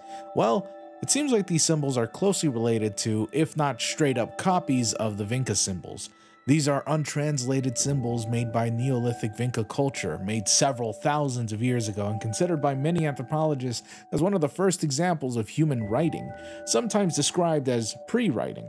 Since they came from such a far off culture from a time where man had only just begun to understand the semblance of writing and language itself, many of these symbols have remained a mystery amongst all those who study them, and as it stands now in this particular puzzle or ARG or whatever they want to call it, there are instances of 171 different symbols being used throughout this entire channel, meaning there's well beyond more symbols than there are letters in the English alphabet. That is, of course, assuming that all 171 symbols are from the Vinca, as some people have noted that some of these symbols are completely original and aren't from anything known, it is possible that these symbols are from a form of lexicography, where each symbol represents a word, a phrase, an idea, or something of the like. To discern what each symbol represents, you'd have to have read the book, which, looking at the sheer amount of videos uploaded alone, would imply that the person who can solve these would be someone who's well read in worldly cultures and religion, which probably isn't as impossible to ask especially if we caught this channel as it was uploading new videos every two weeks or so, which is an ample amount of time for someone to read a book and decipher the video. That's still asking a lot out of someone, and it could ultimately not be true.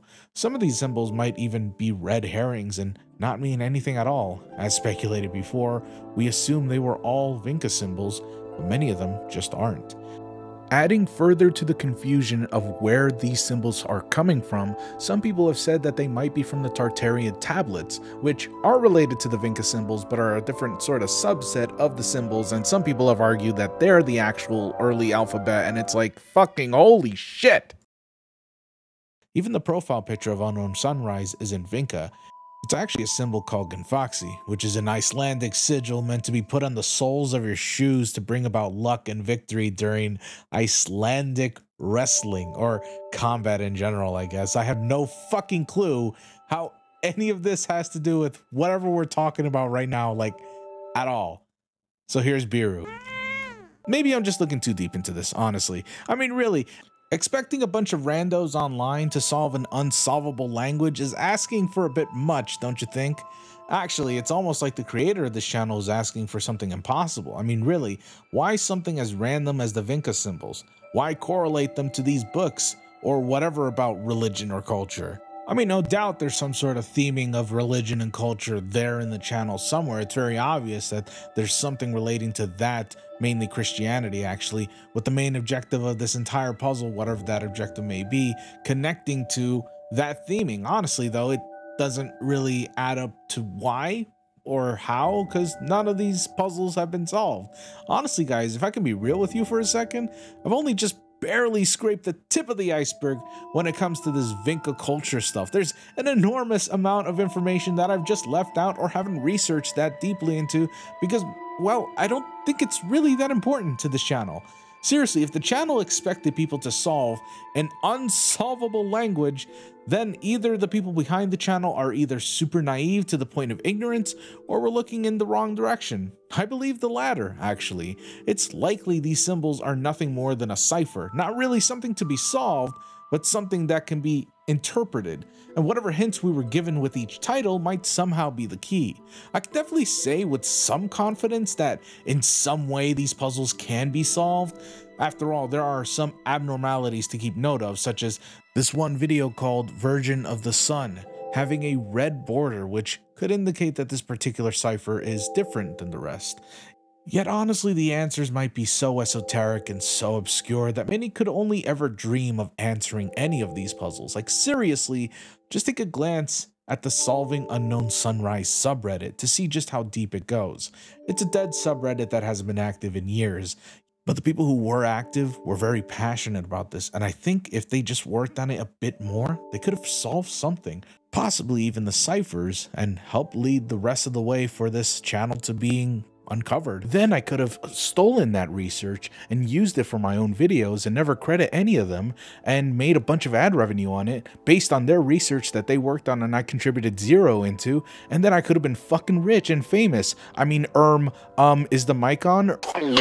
Erm, uh, Erm, I didn't say that. Unfortunately, nobody's ever really talked about it and in these past few years i think i'm the only person who's actually acknowledged this channel existing so if anybody's interested join that subreddit, or check out the videos yourself. Yet, as much as I'd like to dive deeper into these puzzles or ARG or whatever it is, the truth is there's not much to scrape here. Nothing has been solved. Nothing of value has been uncovered. Aside from many of the symbols being found, there's no correlation as to how they're meant to be translated, what the books mean, what the cipher is, if there's even a cipher, I'm just assuming there is, how any of these videos are related, why this channel ended, and why it stopped uploading, if anyone ever actually solved the channel, and how many other questions are still left unsolved, really? Is it one of YouTube's biggest mysteries? Or is it just some failed game made by someone who was bored? I don't know. Truthfully, I just don't. Maybe exposing this out there will help ignite the search once again, but for now, this will remain unsolved. I stole that. Proudly, too. Fuck all y'all. Sometimes the channels I find border on being disturbing by simply being artistic. Art projects often go under my radar just because, well, they're made for art purposes, nothing really to dissect there, despite how extremely strange they are. Yet this one channel called I Can't Sleep has piqued my interest for several reasons. For starters, the art. It's emblematic of old school emo art you'd see in the late 2000s and early 2010s, back when MySpace was still a thing and the emo trend was much more prevalent, also seen. But I don't listen, I'm not going to mix the two. They're, they're both pretty much the same, except one's more colorful. Okay, just leave me alone. It's also pretty close to the art style of Jhonen Vasquez, creator of Invader Zim, and Johnny the Homicidal Maniac, which, if you read the comics, resembled the video's art style very, very closely. Also, just speaking out of experience, every emo person I've known has loved Invader Zim, so there's also that. Nowadays, it's pretty obscure, the art style, anyways. At any rate, as interesting as the art style itself is, it should also be noted the quality of each video. Every single one of these videos are uploaded either in 480p or 360p, which is done on purpose to further the illusion that these videos were made back in the late 2000s when YouTube didn't have an HD option. Yeah, I bet most of you don't even remember that, huh? Living with your fucking plasma screen TVs and sh. The third thing that makes this interesting, however, and worth checking out on your own if you ever want to, is the overlaying story that this channel tells. Here's just a few of their videos.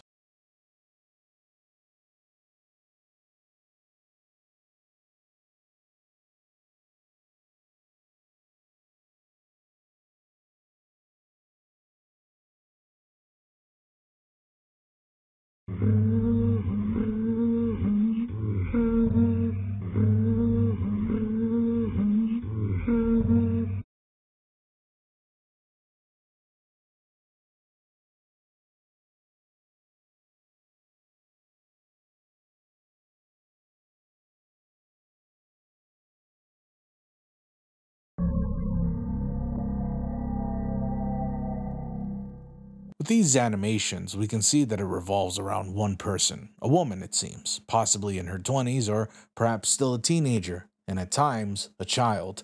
The subject matter ranges from subtly creepy to traumatizing horror. The main character is never given a name, but the themes often coincide with one another. Usually it has to do with the pain that the MC goes through, whether that be psychological pain, physical pain, trauma, memories, anxiety, depression, or a range of many other things.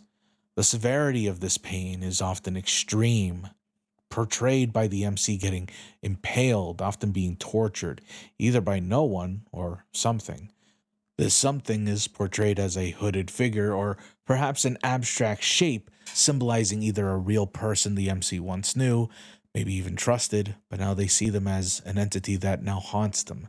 Meanwhile, the paranormal entities they face could be nothing more than just a flavor of the creator's imagination, such as just creepy stuff for the sake of being creepy, but most likely it represents the MC's mentality, their very own past, their own present, the demons that haunt them, the things that still torture them. Some of these videos have very heavy implication that something horrible had happened to the MC, something traumatic, something that I can't really get into because, well, YouTube won't allow me to talk about it without suppressing the video. But it doesn't really take much careful examination to determine exactly what had happened. Look, the truth is, most of these are very mature in theming and are very uncomfortable to watch to a point where it could even be traumatic for some and unbearable for others. It's meant to make you uncomfortable. It's meant to be an outlet for the artist's pain. It's very clear that a lot of the trauma that they faced was in nature or has something to do with their past. And I don't think it's fair to chastise the artist for making uncomfortable videos or making quote unquote edgy videos to show how they can cope with this sort of pain that they went through. It's their art, and I feel like they should express it however way they want it. And I don't think it ever really gets distasteful. It gets incredibly uncomfortable, like I said, but it never really crosses that threshold of being so terrible that it's disrespectful of people who've gone through something similar. Many of these videos don't actually have any sort of chronology to them, and the ones that do are just as abstract as the ones that don't. There are, of course, the other videos that have no story to them at all and have their own just separate short stories attached, perhaps inspired by a creepy pasta or old memes such as Get Down. Remember that? Probably don't. You guys are fucking babies. Either way, each video has an incredibly creepy vibe to them, despite the art style being kind of cute. The animation is usually just black and white with a few colors here and there, but the colors used most often is red, which is used for a multitude of things but is mainly used for blood or something that represents pain. Each video is also accompanied by silence, and more often than not, the video has no audio at all. The times that it does have audio is used in creepy effect, not always to jump scare the audience, but rather to emphasize the horror or eeriness of the situation, though sometimes it can catch you off guard. Yet, despite how much the creator of this channel has given us, one thing they've never actually done is given us answers. And I think that's for the best. It's clear this person is reliving a part of their life that was especially dark, possibly sometime late in the 2000s, in which the style itself is reflective of that old 2000s kind of vibe, and why the quality is always at 360p despite the thumbnails being at a much higher quality. Much of the mysteries behind this channel is mainly about who the creator is and what the overarching story means. They do currently have a Patreon, and while I am a patron myself, I don't dare to reveal the contents of the Patreon page itself. Sorry, you gotta respect the artist after all. All I suggest is if you like their stuff, go and support them yourself. It's possible we may never know who the creator is, and that's probably for the best. If it's true that many of these animations are based on the creator's own trauma, then they're leaving themselves vulnerable for the sake of their own art. And maybe they'd rather not be known for just that reason. As for what the trauma is specifically, well, I think that's a unique question to ask with a unique answer. It's both very clear what it is these shorts videos are mainly about, but also very vague. It's mostly up to your interpretation. For some people, it hits them pretty hard. Lots of people in the comments have said how they relate to these videos, some even wishing the artist well, hoping that they're okay. It's clear that it resonates with its audience, even if you can't understand the abstract ideas or think that it can be a bit overt with what it's trying to say. I'd reckon most of you will still feel a sense of nostalgia watching these videos, and in the end, that's kind of the point. It's revisiting that dark part of you that you thought you could leave behind, that horrid memory of your past, that part of you that you'd rather forget and maybe have only for it to resurface at the worst times. Maybe you see this and get reminded of your own childhood, or maybe you're reminded of that one thing you're keeping at the darker corners of your mind. Maybe it's a cathartic feeling seeing someone go through what you went through, or maybe it's opening something you wish would remain locked. The truth is, it's a channel meant to make you both nostalgic and uncomfortable. It's horrific in the way it plays with your memories, while also possibly healing for the person behind this channel. Perhaps this is a way they channel their trauma, or perhaps they just really wanted to make something spooky for spookiness sake. All you can really do is just watch and try to enjoy. And maybe someday I'll cover this more in depth, try to interpret each and every video as their own thing and what exactly each could symbolize. But for now, I just wanted to give this a shout out because I really love the art, and I love the artist, and I think the content is wonderful. So check it out.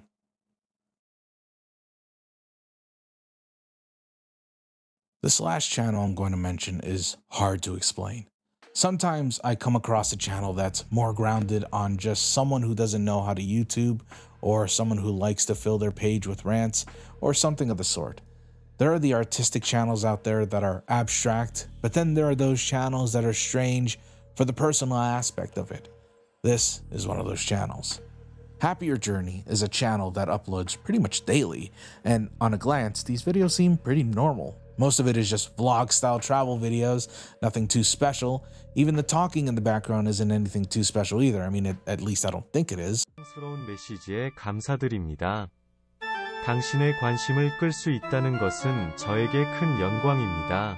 당신의 메시지는 저에게 큰 I don't know. I don't speak Korean. But hey, Maybe the guy making this video for one reason or another doesn't want to speak. Sure, that's reasonable. But where things get strange is, well, the sheer amount of videos this guy has uploaded. Seriously, almost like every single day he uploads at least twice. It's very frequent, even for a vlogging channel. Like, really, how could we have so much footage to upload every single day? Well, okay, that's a little strange, but not impossible. It could be that he's just editing his own stuff and releases them whenever possible. But then we get to the titles of the video themselves. Most of these titles seem nonsensical and are splashed with an English title followed by Korean text, but these titles are often pretty confusing. Taking this one for example, which translated it reads 988 Sego, big dot love, comma, letter yen pics with like four X's, resurrection, Canadian Rockies, Lake, Happier Journey. Okay, what? So I get the 988 part. It's just the number of logs he's uploaded thus far. Sometimes it's out of order, but that's what it means. And the love letter, well, well, we'll get to that in a bit. But what is Yan Pic's resurrection and Sego? Is that the guy's name or does that mean something? In fact, many of these titles relate to one another by two things or one. Either they're spiritual or Christian in nature, or they're love letters, which doesn't really correlate with the content of the videos, which is just a guy walking around and exploring Canada or driving around in his car in the Canadian wilds, as noted in the titles themselves. In fact, I was able to pinpoint exactly where in Canada this man had visited. When looking at 988, the man drives by a place called Crazy Creek Hot Pools Resort, which is found right here in Malakwa, British Columbia. So yes, these vlogs do take place within Canada, and likely this man, whoever he is, is just recording his vacation, or possibly he lives in Canada and is just driving around. Again, while many of these things are weird, there's nothing really underlying that tells us that they're nefarious or even worth exploring further. Let's face it, with trillions of hours of content uploaded weekly on YouTube, there are bound to be some boomers who don't really know how to edit or upload or title stuff exactly like this. It's really not that freaky. It's just like looking at a fucking boomer's Facebook page. It's the sort of shit you see all the time.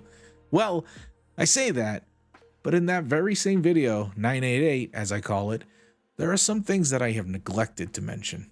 First is the text to speech after the Korean voice is done talking. 20th of May 2020, 8.01 a.m. What you eat at as your breakfast? Wish you can tell me before you go to bed. It's a love letter. In fact, the entire love letter can be found in the description of the video itself, and it reads like this. The 20th of May 2020, 8.01 a.m. What you eat at as your breakfast? Wish you can tell me before you go to bed. Today it is 520 Valentine's Day. Do you know what is that meaning? 520 means I love you. I hope we can have sweet start in this day. How about a heart-shaped fried egg with two bread as your breakfast first? Oh. You can always tell me what you want to eat and what you like to eat. Don.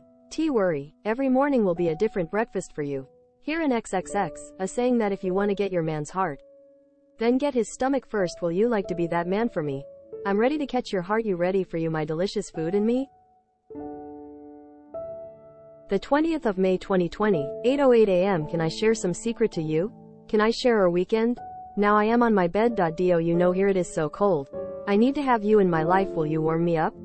I am serious to you. Don't dupe how much I can love you. I will show you my love over and over again. If you know that I truly love you, will you give me all your love? You are my everything. I will open up everything to you. If I know that I am loved by you, believe me, you will know my feelings through my passionate and sexy kiss. Will I get a reply from you? A kiss? Or a hug? The 16th of September 2020. 1:58 p.m. I am awake at this inpatient ward in the hospital. I don't know how I affected the virus. I just feel sick, have fever, suddenly cannot take a breath in some moment. Maybe my health is not good. Enough to protect myself from the virus. These days I think about life and death a lot. Have you think about that before? Life is short. I think I work too hard. I have not enjoy my life so much. I have much regret for my life. I am afraid I will. Leave here J try myself to keep on, but I am too weak. Did you have that feeling before? Feel the helpless? I try to hold my life but it is too hard. If I leave. Will you remember there is someone say these words to you? The 17th of September 2020 outside. The weather is sunny. It seemed that autumn is coming. I can see the fallen leaves from the window. When I am awake, I try to see outside. Is there all the white in the isolation? Ward and just one or two doctor or nurses to come when it is time to check my situation here in the day or night. Can see someone cry or shout in the first two days. I am frightened about this hospital, but now I calm down. Life is crazy. No one will know what happened in the next moment till last week. I never know would get the virus. I never think about I would lay on this room all the time. I never know I cannot talk to anyone. I cannot walk outside. Now I think I am in jail. No one can help. No one can come up me. No one can conform me. I am sick. I am helpless. And I cannot cry. The 18th of September 2020, 3:28 a.m. Just now the doctor told me I need change to another inpatient ward. My situation is much more worse. I think it is my last day to send you words. It is my last day stay here. I in another inpatient ward. I cannot have my phone or anything. I will close my profile, if I can go. Out the ward. I recover I will come back. But I am afraid I need say goodbye to you. You need be happy and I hope you can have right one to spend the rest life with you. You need the better one to take good care of you. There. I will think of you even in my last minute. Please enjoy the short life. Enjoy every day. September 2020. 1 a.m. I may not be the first woman in your life, but I want to be the, the last woman in your life. I know I am not the one who first made you feel loved, but I want to be the only one to make you feel loved soulful LLY to the core of your heart. I promise to treat you the way you want to be treated. And give you the respect you deserve. I promise to be always your lover and friend.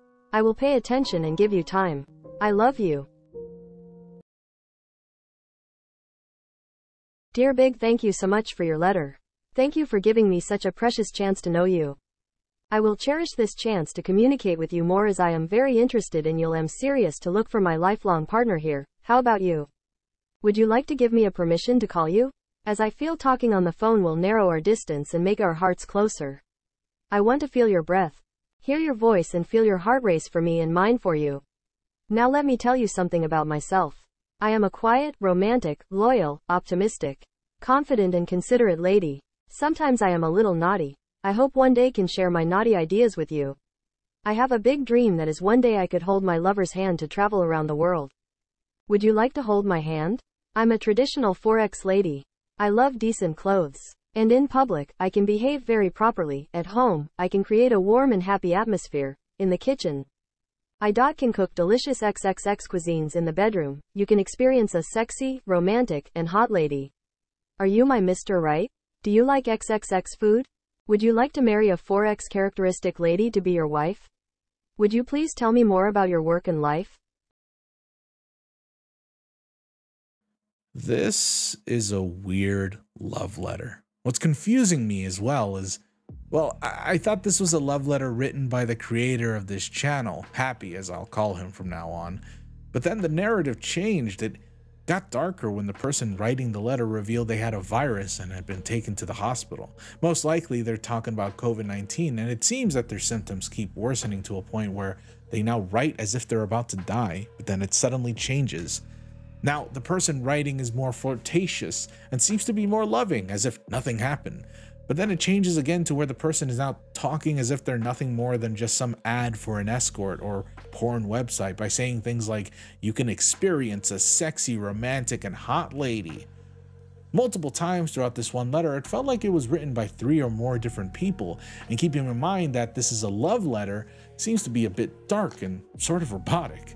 The misspellings are also strange, and the censored words, the X's where there should be something, it's kind of like an online meet your match kind of survey than a love letter.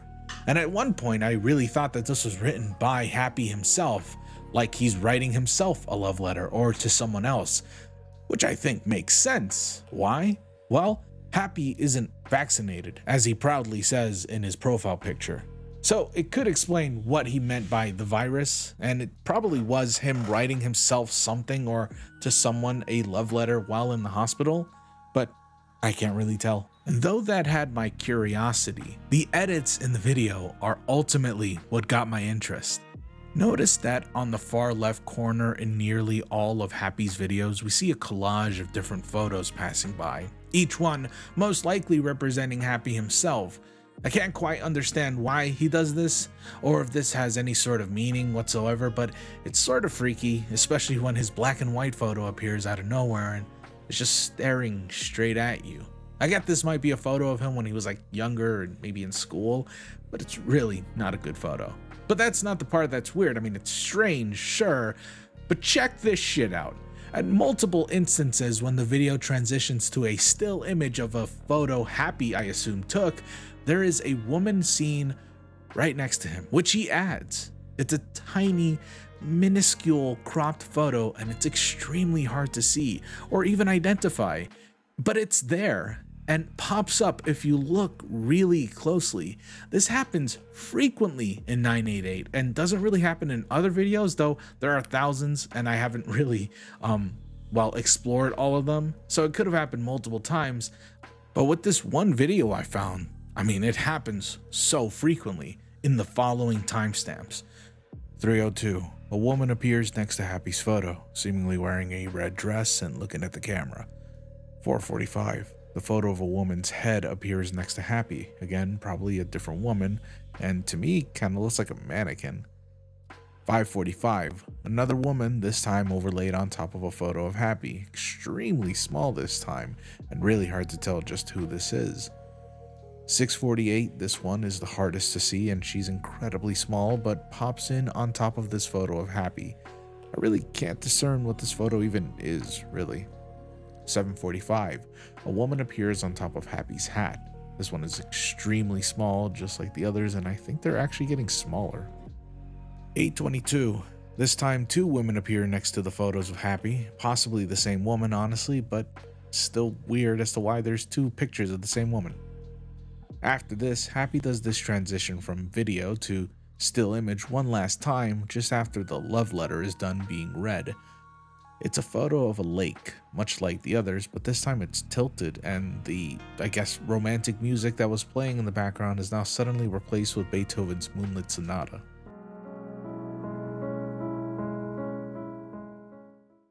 This is weird because in the previous shots, all of the photos have been small and presented normally, yet this transition to Beethoven's Moonlight Sonata, a song that's pretty ominous in itself, followed by the crooked lake photo and the enlarged photo of Happy himself is just sort of unnerving. I don't know, it could just be me. I, I am writing this at around 3 am with the lights off. At first, I thought he didn't add a woman to this one part, but if you actually look very closely, I think you'd be able to see something I can't tell if it's a woman. Actually, I can't tell what it is at all. It's just there, and I'm not sure why. After this, the text to speech voice changes and speaks entirely in Korean.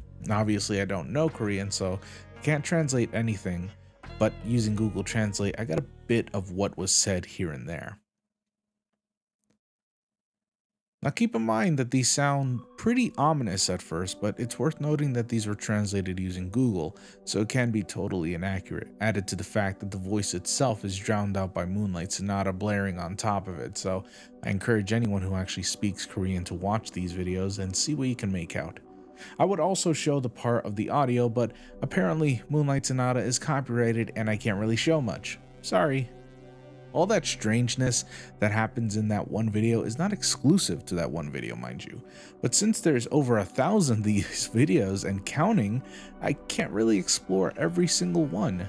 But from the ones I have watched, I can tell you the weirdness varies, but it's always there. For example, in 965, the love letter being read is by the same voice, but this time it's about a woman named Lena, a, a passionate and affectionate and also tender loving woman, as she says. She describes herself again much like a woman advertising herself would, asking the person she's writing the letter to what she would wear, asking the reader if they like the size of her breasts, the color of her panties, and she has a quote, magic tongue and fingers, unquote. At this point, I'm nearly convinced that these so-called love letters are more than likely the descriptions you'd find on an escort's website or something like that, I don't know. Then around the 3 minute mark, the person writing this letter mentions an incident in Chicago and Texas and asks the reader if they believe in rights for American citizens to have the right to bear arms. It's kind of political for a love letter, but also what the fuck? like, weren't we just being flirty about sex shit now? All of a sudden, it's like about American politics. Like, it's just so weird. I, I don't know what to make of it. Then it gets even more fucked up when the writer starts talking about a home invasion incident in which the woman's husband was assaulted by men in masks trying to rob them of their stuff. The writer even describes it as an incident that led her to believe that people can be worse than the devil. This is fucking part of the love letter. Like, what is this?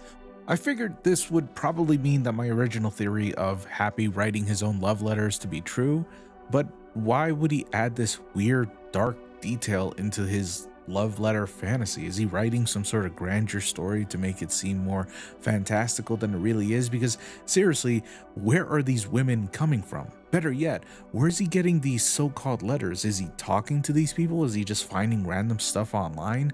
By the way, if I hadn't made this clear before, I can't show you these dialogues because of copyrighted music just blaring over the TTS itself, so you're just gonna have to watch it yourself.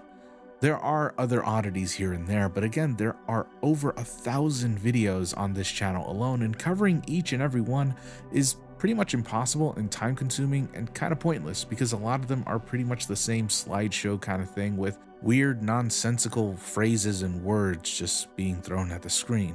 Most of them follow the same formula, except for a few oddities, which I will cover briefly.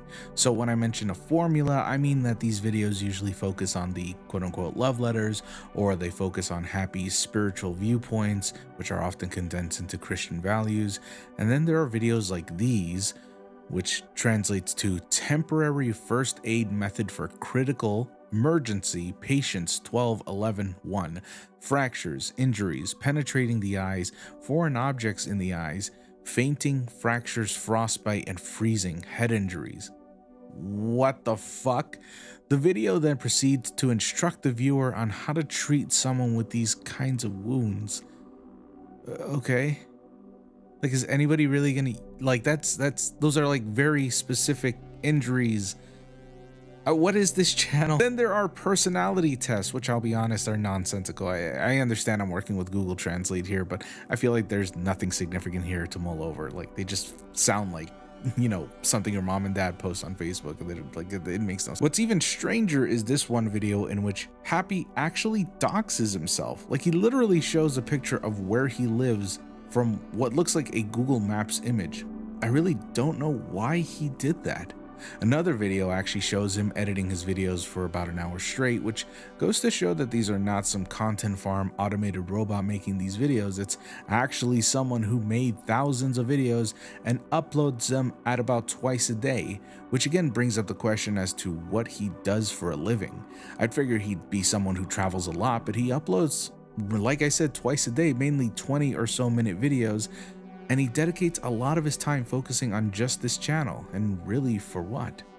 But now let's go back to some of the other freaky videos, mainly this one called New Face. The Korean here also translates to New Face as well. And it's just a slideshow of this one woman with Happy's photos. Now, I figured that maybe this was someone Happy knew, maybe his wife, maybe his daughter. But when I look up these photos, there's no results whatsoever. However, I really doubt that this is someone Happy actually knows, and I figure it's someone he admires a lot, maybe even romanticizes over, as the slideshow seems to be telling a story, and with the music playing in the background, I'd assume it's some sort of music video slideshow thing. Wow. I'm a wordsmith, aren't I? Music video slideshow thing. In any case, we never really see these two together, that being the mystery woman and Happy himself. There's no photo of them physically together, and the photos taken of her seem way too high quality, making me assume that this might be some sort of model or actress. And before I get attacked in the comments, look, I don't know shit about like Korean pop culture, so please just be patient with my ignorance. At any rate, the thing that makes this really, well, freaky is that the preview in the timeline in this video shows her face blurred out. Yet in the video, they're completely uncensored. It's just kind of weird. Oh, yeah, and he's got UFO videos. No shit. He, he just has like real UFO footage. And I gotta say, as far as UFO videos go, this one's really compelling. Yeah, Look, like, I don't want to gloss over this, but seriously, what the fuck am I supposed to say about this? I just stumbled upon it while looking through his channel. Like, he has UFO footage. Like, the dude caught some actual UFOs. That's crazy. So now we have these strange videos, these strange love letters, these strange edits, these strange photos, fucking UFOs. How could we interpret what this all means? Well, for starters, it's not an ARG, because I, I swear to God someone in the comments is going to say that. But more seriously, and less fantastically I guess, it's likely just an old boomer who's just posting basic Facebook videos on his YouTube account. There's really nothing to suggest he's dangerous to anyone, but it's likely he might be a lonely guy looking for love, or maybe some sort of attention. I still can't explain where these so-called love letters are coming from. Most likely they're from a website he found, like a dating one, and just copy and pasted them for his videos. Still, that doesn't explain the horror stories such as the home invasion one and the hospital stories, but honestly, tons of YouTube channels exist that are just like Happy's, made by people who just want an outlet and want to express themselves. I don't know what to think of Happy as an individual, but it's likely he's not really at risk of harming anyone. It's just one of those strange channels that sort of exists on YouTube, one of millions, I'd say, one that has no real objective or goal, but is run by someone with a lot of time, and really there's no need to criticize them for that. Maybe there's a chance that Happy isn't really all up there anymore, but hey, if he's not hurting anyone and he just wants to express himself and you know, honestly, he doesn't even get that many views. So even if he had toxic viewpoints, he probably doesn't even have a following anyways. Just let him do what he wants. I must have seen hundreds of ARGs in online horror by now, but every now and again I find something that reminds me of why I love online horror in general. I'm not exaggerating when I say that I am incredibly excited to show you Lacey's Wardrobe. I, well, holy shit, that sounds really perverse. Lacey's Wardrobe is a quote-unquote lost flash game from the 2000s that's about a girl named Lacey. She's got a busy day, and it's up to players like you to figure out what she's got to wear for her evening outing. Do people say outing anymore? At any rate, it's pretty emblematic of Flash games back in the day that involved, well, dressing your favorite characters up in cute clothing. You know the ones. No, not not those. Jesus Christ, not those. Yeah, those. Well, anyways, it's pretty accurate to old games. Like, it's extremely convincing. And if I hadn't known that this was created by someone, I would have thought it'd be a real Flash game from the past. And by someone, I mean like, you know, someone for a horror, well, whatever, anyways. But things are a bit off once the player actually dresses up Lacey for her picnic meetup. Take a look.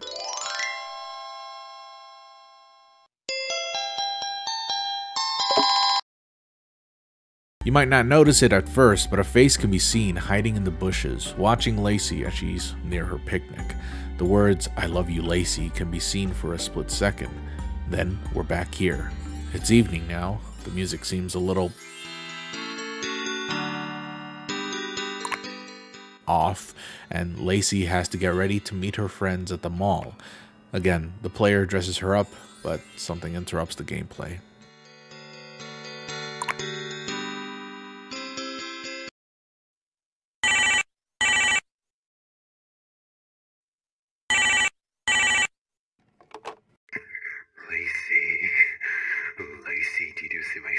Lacey?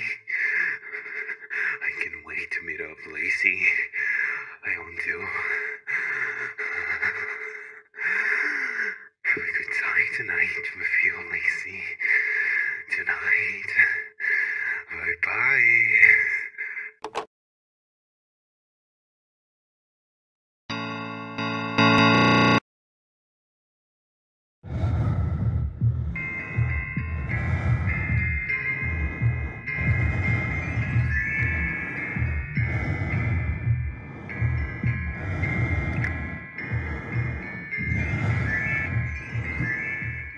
After dressing up Lacey, we see her go to the mall.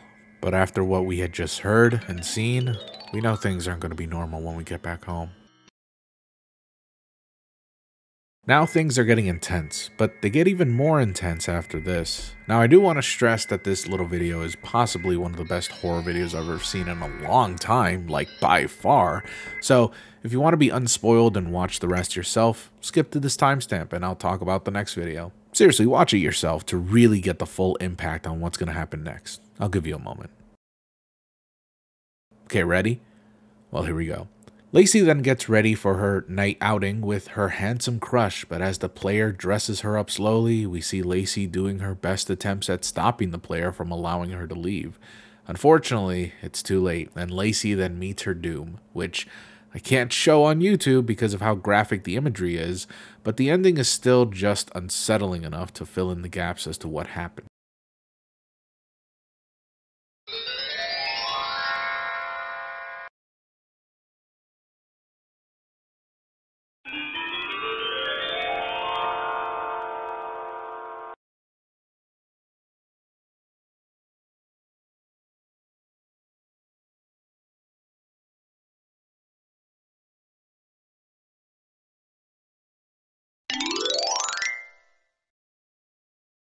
Sorry, did I say fill in the gaps? More like flat out tells you what happens. Then we're back at the start. Yeah, so this video alone, y'all, this fucking video rejuvenated my love for the online horror medium. I mean, seriously, I've seen it all and I've made fun of it all on my streams. But this is the first time in a long time that something actually scared me. And not only that, but just shocked me. It did everything right. It designed itself perfectly the art, the setting, the sound effects, the gameplay. I mean, it was all done beautifully. And while you can argue that the art inspirations are from here and there, it can't be denied that amongst the sea of ARGs and analog horrors, this one stands out beautifully. By the way, before anyone asks, no, it's not an ARG. It's not even close, as far as I can tell, anyways. Most likely just a small little mini horror series. Yet the fun doesn't end there, as Lacey has yet another misadventure, one where she tries to run her own restaurant. This one is far more elaborate and, can you believe it, a ton more disturbing. Now, I do want to warn everyone who are more sensitive in the audience watching at home right now that the next video features graphic scenes of violence, self harm, ideations of death, and other extremely dark topics. Not kidding when I say that this is actually a lot darker and really, really disturbing. So, if you're not comfortable with that, then I suggest clicking this timestamp to avoid all of that and get to the main discussion. They'll be warned, because of how prevalent those uh, themes are at the main story, there might just not be any way to actually avoid said topic, and there's a chance that I'd still have to mention it. This one is called Lacey's Diner, featuring, of course, Lacey, but this time around the player now has a name. Char Char 887, and in this video they tell the audience about a secret ending that they thought was freaky. Much like the previous game, the video is very convincing in passing off as a flash game. Even the editing itself is very reminiscent to late 2000s and early 2010s YouTube style of editing. The narrator explains that, though the game seems normal, things seem to be a bit strange once the timer runs out. Now again, I can't stress enough that these videos are wonderfully made and honestly really refreshing in terms of new takes on online horror, so I highly, highly recommend watching these videos before you watch me spoil all the horror stuff. But hey, if you don't want to do that, that's fine. I just personally think you'd do yourself a favor by watching the video. Anyways, let's continue. As the timer runs out, we see this.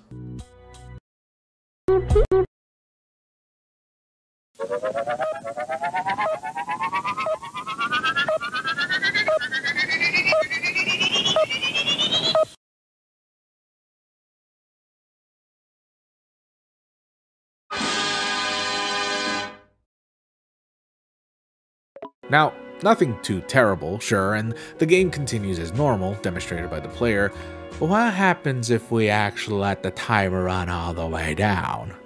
I have three hours of sleep, I can't fucking do this recording.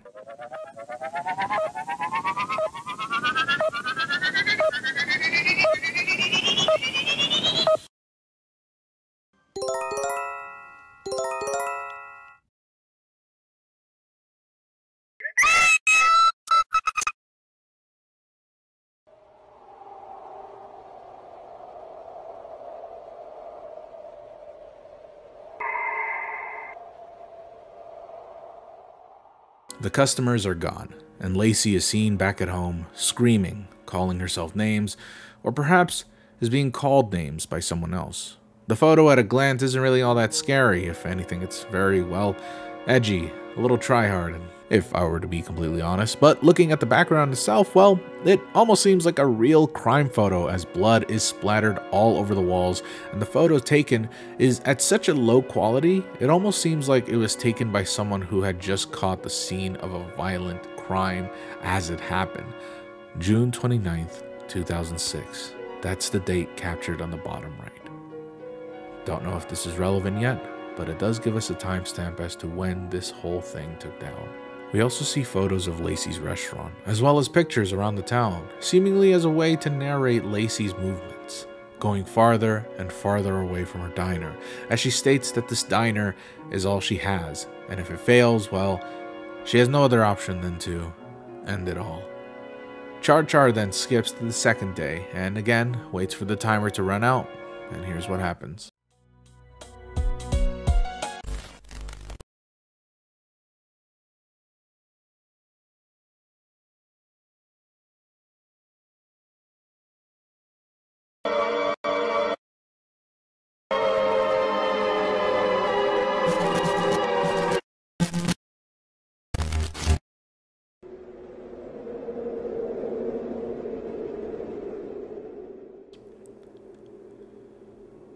Few images that scatter by are pretty hard to read, and to be honest, even with a bit of fuckery here and there, I honestly wasn't able to make much sense of it. Leave a comment down below if you really think you know what it says or if you found a way to read it, but from what I could visibly read, the first image has Lacey, looking somewhat like a cadaver, and the text mentioning something about death row and a body being pulled out of the river, a dead body to be precise. I mean, I, I, don't think I needed to clarify that, but I think I did.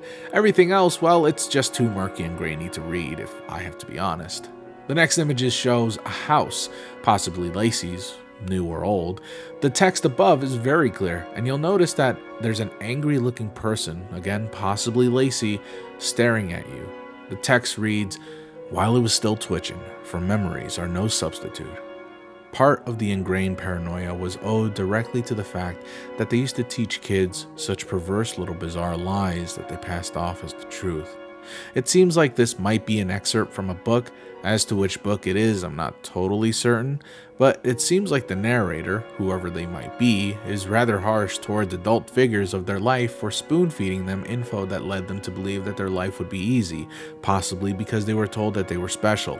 Though, that is just my personal speculation, honestly, as it fits somewhat with Lacey's morality being led by her successes in life and the failures as well. This leads to Lacey having a breakdown, leading her to spiral into despair and forcing her to do some irrational and dangerous things. The next day, we get this. As she adds ingredients, each one describes a bit about herself, I assume so anyways, and all the abuse she's faced in her life, and all the trauma she ever faced. Cigarette butts, possibly indicating burns she received from a man who she just refers to as him, whom she almost cried in front of and never wanted to again. Cockroaches that swarmed her room, crawling everywhere, making her want to end it all right then and there. Not safe for work stuff. Yeah, sorry, I can't say that naughty, naughty, no, no word. This one entry being hard to read because of the static, but through this, we get the mention of an uncle and how he must have been addicted to this sort of thing, constantly living in his own fantasy world where women find him desirable. The uncle, who must have been Lacey's abuser. The meth used in the bowl has no real discernible dialogue or words, but does it really need any of that? It does contain strange images, and seeing as how this is all showing Lacey's trauma and abuse, it is possible that Lacey has a substance abuse problem, the substance, of course, being meth. The used condom, well, I don't think you need much imagination to get what that represents. The person Lacey refers to as him returns, and since we know of an uncle existing, we can make the assumption that this was her uncle, and that, well, he did some things to her. And honestly, the wording is pretty subtle, but graphic all the same, describing Lacey's experience with her uncle. I think I'll let you decipher what this means. Broken glass is also added to the bowl, most likely from the times her uncle broke things out of anger, perhaps, or, more likely, the shards of glass that she could have used on herself. Finally, the distorted visage of a man, which she also adds to the bowl, while the bowl itself seems to have no name, unlike the rest, we can see at the bottom right the letters U and N, most likely meaning uncle. And then we see this.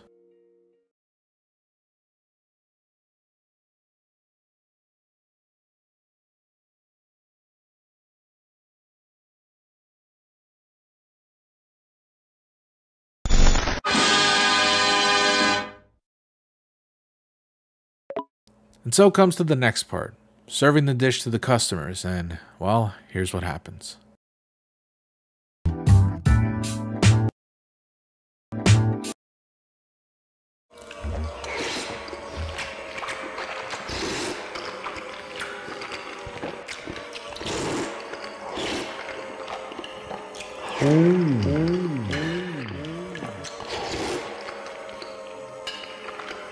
Oh.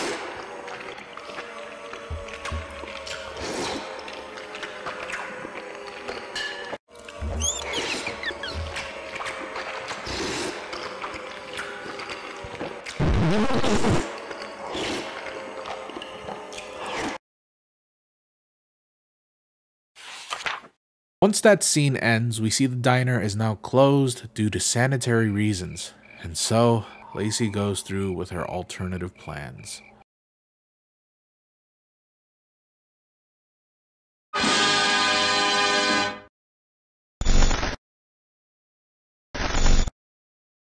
With this, the video ends as Char Char exclaims to the audience that they're trying to find more Lacey games, and see if there's more to the story and what else these games made by Cyaniso Games holds within them. Sorry, I couldn't say that right. Cyaniso?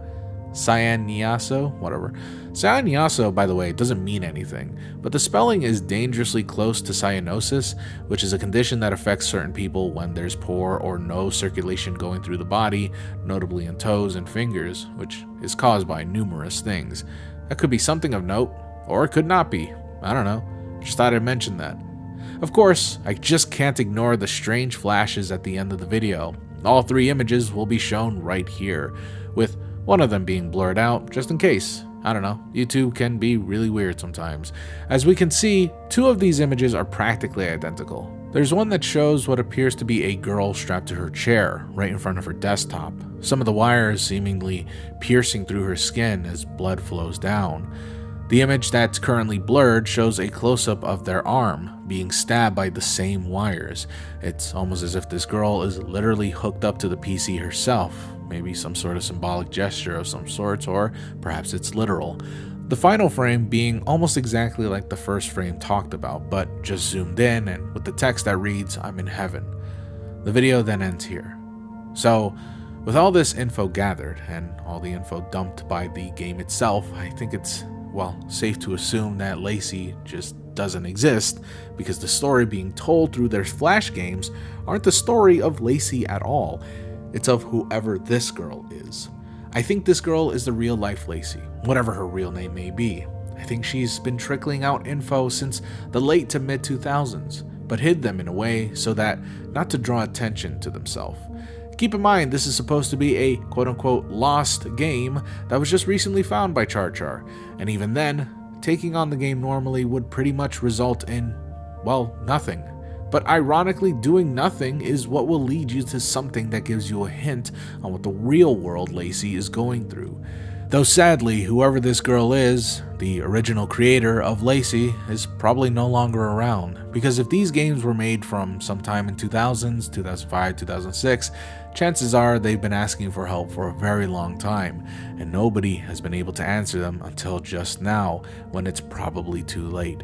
I'm in heaven is the creator's final words. Or maybe it wasn't that they were seeking help, but rather seeking a way to be remembered for the shit that they had to deal with. The abuse, the trauma, the scars, it couldn't be healed. So her only way was for her to show the world that she was someone who was worth a damn. Someone who made cutesy flash games that portrayed her own life to whomever played the game. Sadly, this might be their very last message, and that is, of course, until we find the next game. So damn, that's heavy, and it does seem like the creator of this channel is working on newer Lacey videos, which is great, honestly. I think what's been shown here shows a lot of potential, and I honestly can't wait to see what happens next. Though, again, this might be a little too graphic for some people out there, and thankfully they already put up trigger warnings for anyone sensitive to these topics, which is very useful for anyone who doesn't really feel like they're in the mood for that sort of stuff. I understand when it comes to horror that deals with more graphic or hardcore subjects, people tend to get a bit cynical or or perhaps find the stories insensitive. I, however, still support the idea of horror being unrestricted, so long as the medium isn't exploitive or compromises anyone's well being. I think anyone is allowed to talk about these sorts of subjects, heavy or not, and ultimately, it's up to you, the viewer, if it's worth your time. And so far, Lacey's series is definitely worth your time. Go subscribe to Ghost Tundra, give him some love in the comments, and get ready for what's coming next. People often get the wrong idea about me when it comes to my opinions on analog horror. I have and probably always will love analog horror. I love that so many people have rediscovered this sort of mockumentary style of horror that I grew up with and are making their own versions of said horror with a new audience. However, analog horror is tricky to really nail down. Sometimes you just gotta ask yourself, what does the VHS filter really add? Like, this is cool and all, and well thought out, but does it need to be analog? When you really think about it, the answer is often no, it doesn't.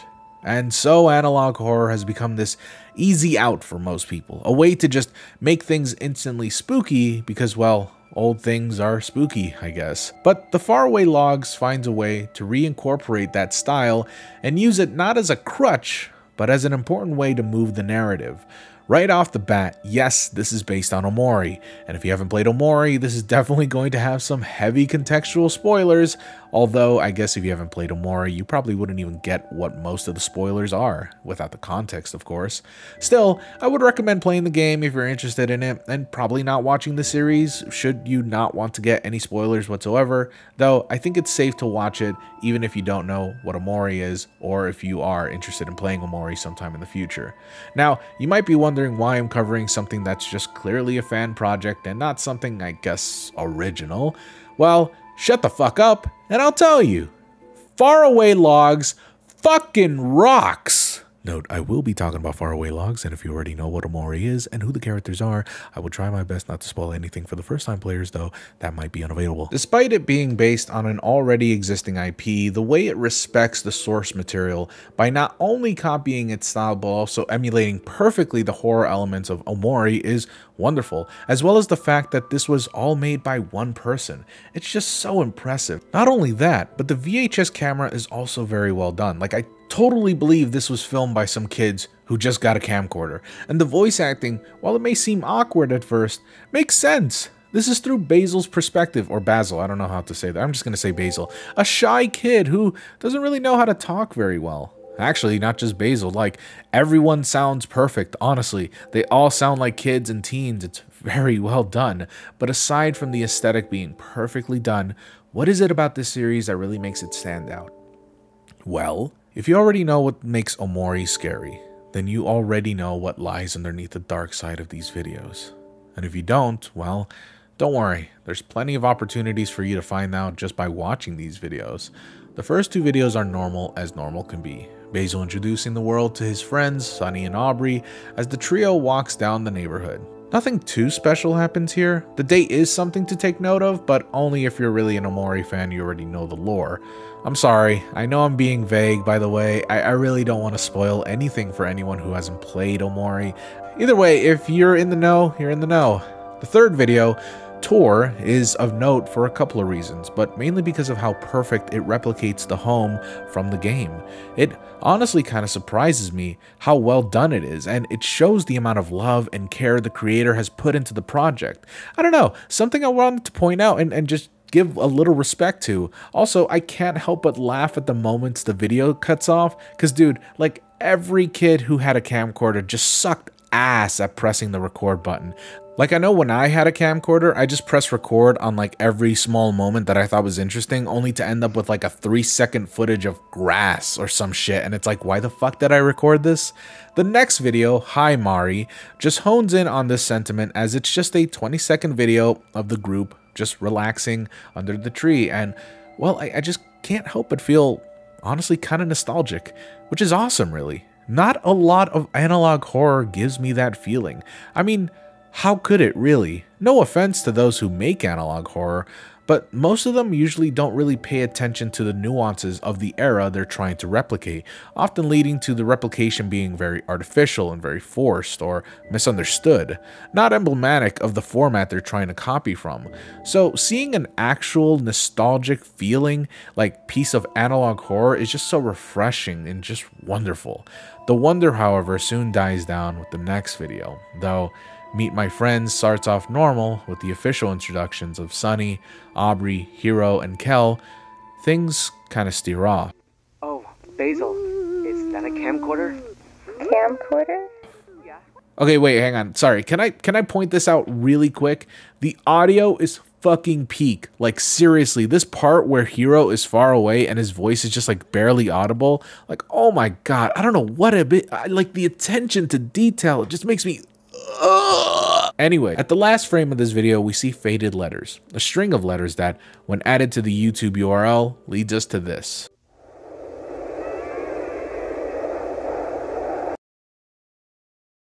The description reads, everything is going to be okay. Now I wonder what that could mean. With this being revealed, the next video, Unfinished Treehouse, shows Basil exploring, well, the treehouse. Things escalate a bit as there's periodic flashes of text that appear on screen every now and again, but we'll look at that later.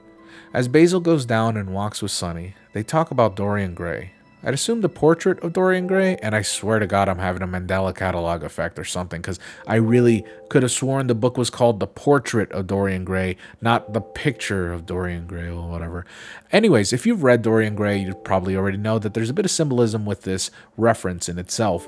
But if you don't, essentially it's a book about a beautiful man named Dorian Gray who sells his soul in order to stay young and beautiful forever, and place for his soul a painting of himself drawn by his friend and admirer for his beauty, Basil Hallward, ages instead of him. All while Dorian Gray lives out his life hedonistically, the painting changes and warps according to Dorian Gray's sins and reflects his true ugliness. Obviously, there's a lot more symbolism hiding underneath the surface level summary, but I won't get too deep into that as the strange thing about this Dorian Gray, I don't know, shout out is, well, it doesn't really talk about Dorian Gray's portrait or the story itself. It's actually framing Dorian Gray as an author who wrote an unknown book about criminals who try to fake their own death in order to get away with a crime, which to my knowledge just doesn't exist. But just before the description of the book comes up, we see this.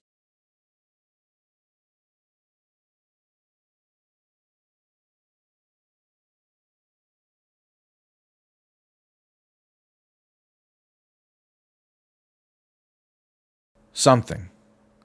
Speaking of something, the flash as mentioned previously happens three times 15 seconds, 52 seconds, 1 minute, and 35 seconds. Combine these letters and input them into the URL, and we get sent to this.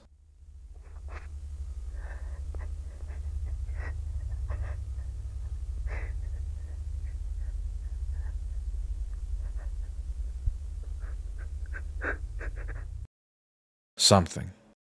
Speaking of, during the first appearance of this something, the video slightly lags just a bit a second or two later, then it changes the date and time into a new URL code.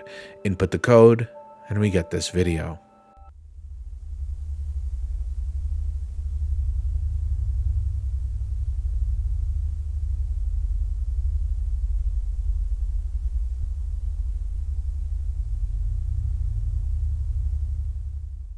It's hard to see, but you can see it if you brighten up the image a bit.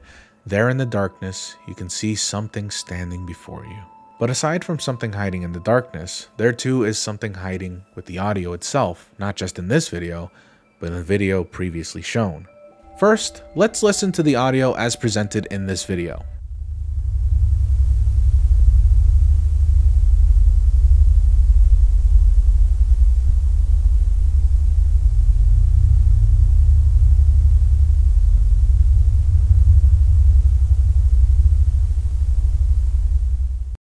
And now, let's speed it up 20 times. Cool, huh? Well, it gets sneakier than that, because if we take this audio and make it into a spectrogram, people have reportedly said that it makes an image. Now, this is somewhat debatable, as some have claimed that it's supposed to represent musical notes, and yeah, I can see that kinda, but it's so grainy and really short that I can't honestly confidently say that that is what it is. Though, matching up the songs with the notes do seem to align, so it is likely that, and given the nature of Omori and what this scene represents, I won't be surprised if that is really the answer. Some others have claimed that this is actually the song Help Me, but I'm having a really hard time hearing it. Take a listen for yourself and tell me what you think.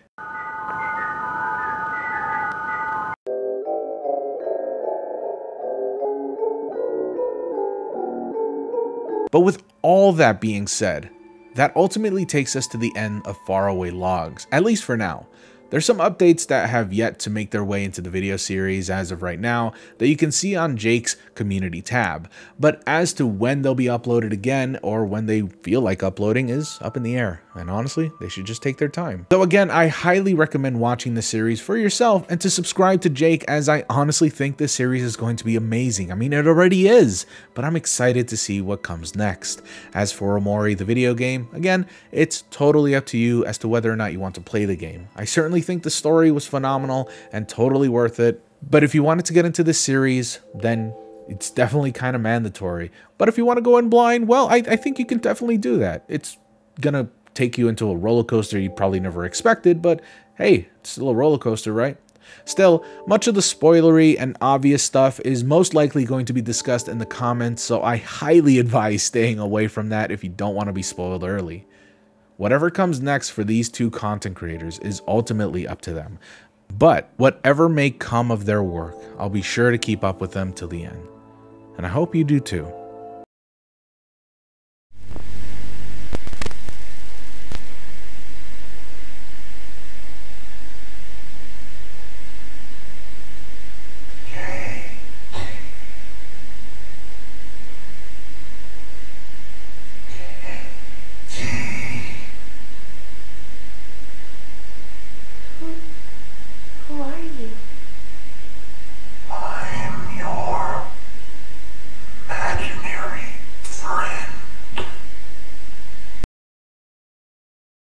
Starting off with some classic analog horror content, Greylock is currently one of the creepiest analog horror out there with some genuinely interesting lore and fascinating visuals.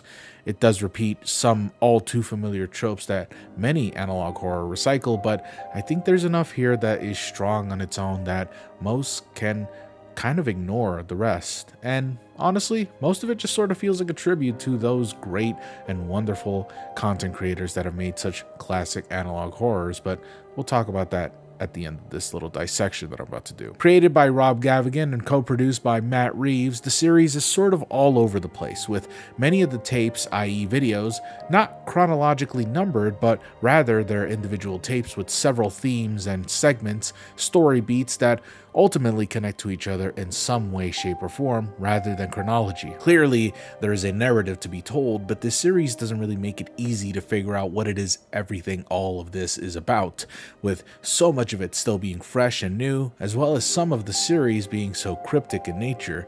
Now, as I said, this series started a few months ago, and much of the info I will share with you now might change or may have a different meaning later down the line in the series lifespan, so Instead of solving every little detail shown to us through these tapes, I will instead opt for dissecting these tapes one by one and attaching each new bit of lore that fits with one another whenever possible.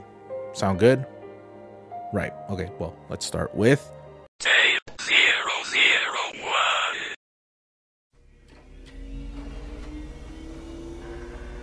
Primary systems online. Someone is hacking into a laboratory. Security cams are active and capture this activity, but finds nothing. Many of the cameras shot are confusing blurry. The computer states what's happening as the hacker gains administrator access despite not having a proper username. Data from this lab is getting extracted, and at the end, the logo of Semiodyne USA is shown. Even after watching all these videos, it's currently unclear if this means that data was extracted to Semiodyne or if it was extracted from Semiodyne. Either way, not much can really be gathered from this one tape, although it sets up pretty much the premise of where these tapes came from. This one lab that we're pretty much stealing the information from. So, all the tapes you see from now on are just confidential tapes that have been released by a whistleblower. Who the whistleblower is is currently unknown.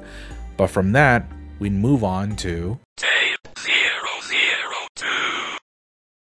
believers, when men pursue evil, it is evil that they will find. This tape features dashcam footage that leads us all the way into a dark forest. The radio is playing a sermon, talking about how man should stray away from the devil's temptation. A man holding a camera is seen traveling deep into the woods. He spots blood in the snow. Suddenly, the camera warps into what seems like a new reality. The blood leads to a tree, all the while we hear an almost inaudible voice speaking to us.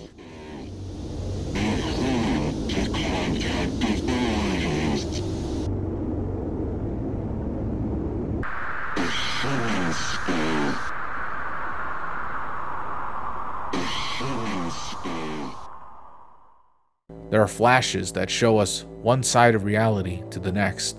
Then it all cuts to black, and we're back on the road. The sermon continuing, the car getting slower, the surrounding area getting darker, and suddenly, a knock.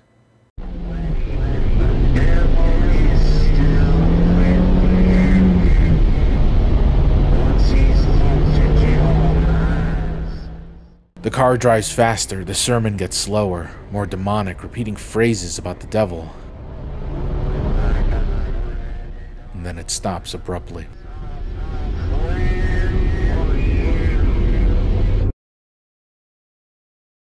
Tape zero zero three.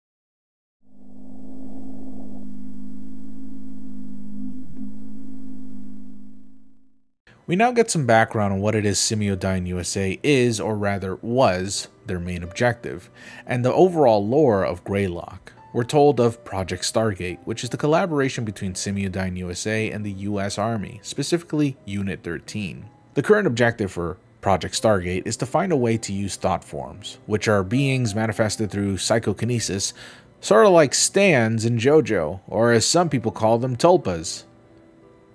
But they're just, let's be real, they're, they're stands, really.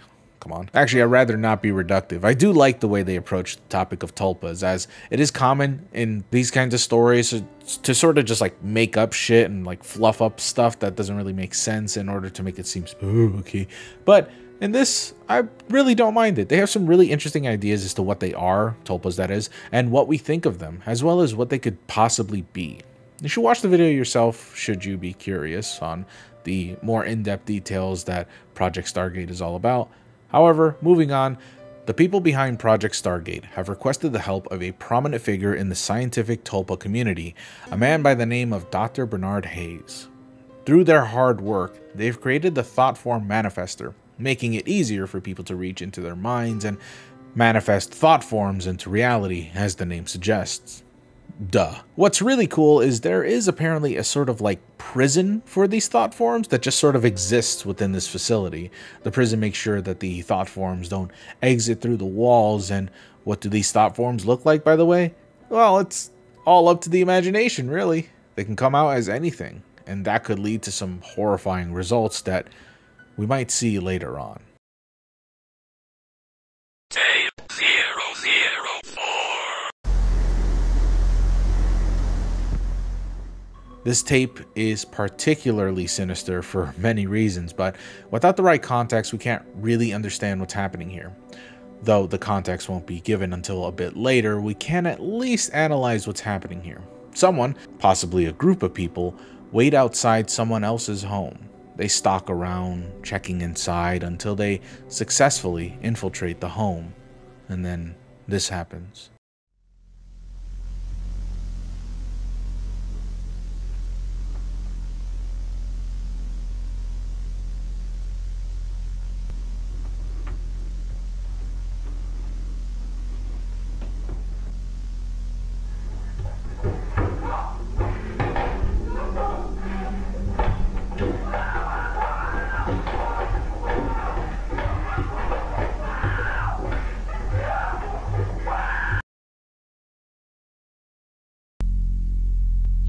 Our current program at the request of the Massachusetts State Police. Soon after, we see an emergency broadcast alert warning everyone of hungry home invaders coming after your third graders. The broadcast is specifically meant for families that live within Berkshire County, Massachusetts, where most of the story takes place. After this message, something rather horrifying happens. Check a look.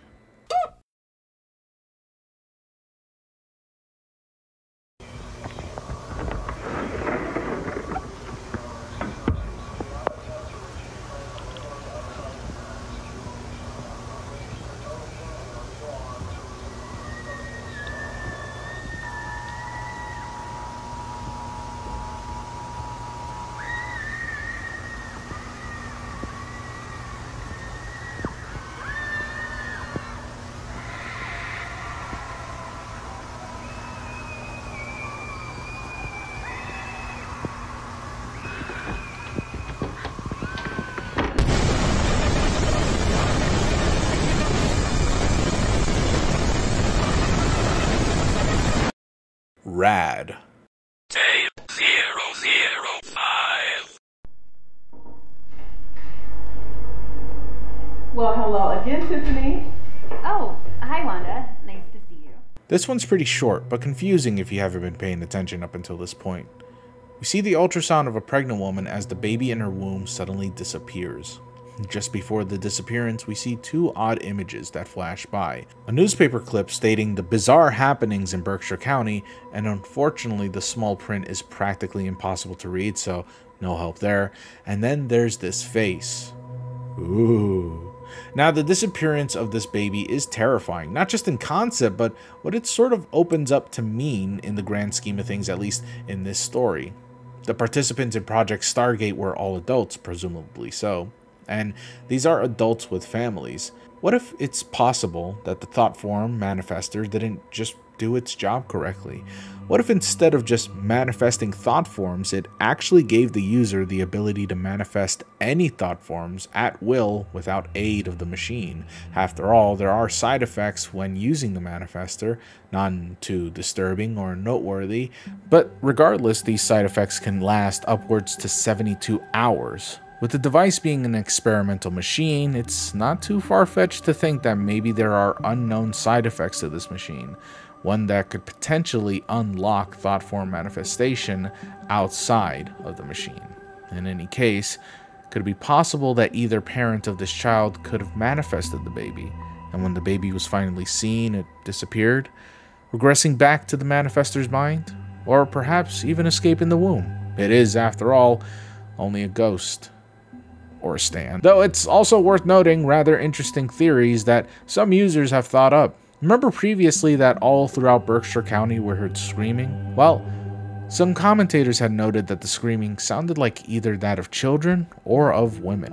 Or perhaps both. Is it possible that the quote unquote participants of Project Stargate were actually forced to do this? Kidnapped from their own homes and made to manifest thought forms against their will? Do any of them even remember that? Well, let's keep moving forward and we might get the answers to that.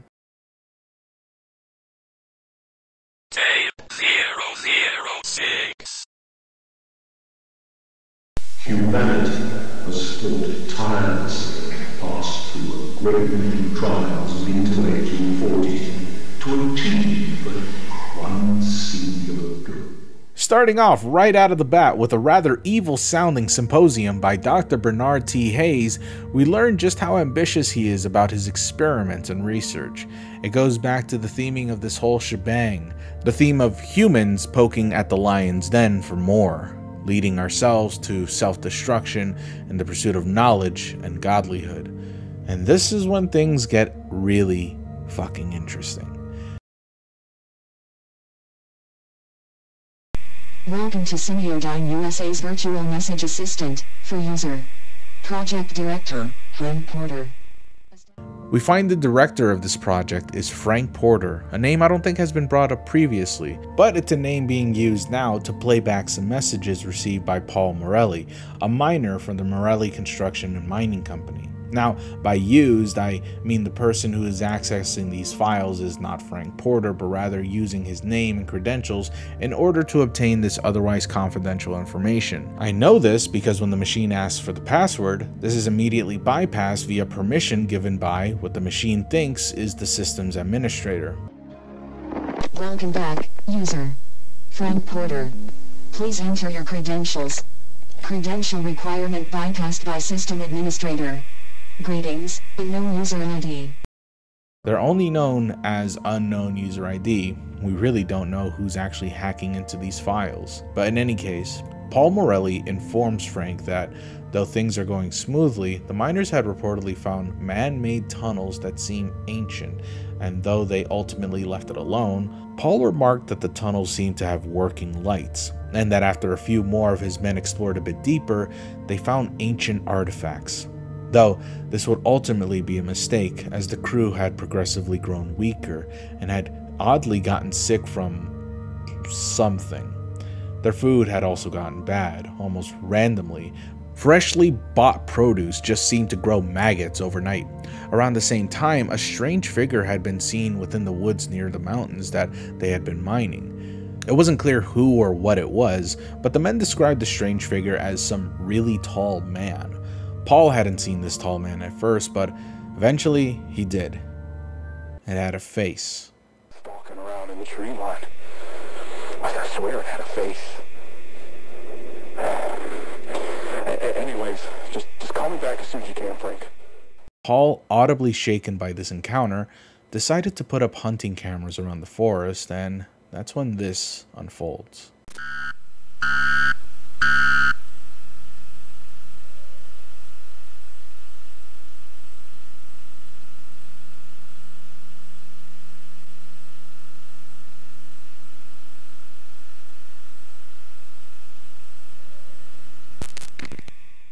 After this, Frank makes one final audible call. And listen, I don't know how much of this project's dick I gotta suck for you to check it out, but if you don't want spoilers as to what happens at the end of this tape and experience it on your own, then skip to this timestamp. Otherwise, I'm about to show you one of the coolest and spookiest fucking sequences I've seen in an analog horror in a long time. So, please, check it out if you want. Otherwise, sit back and enjoy the last few moments of this video. I feel like I need to figure out what's down there. I think whatever's down there could help my crew, but most of all, I feel like something really bad's gonna happen if I don't go down, so I'll be going down tonight.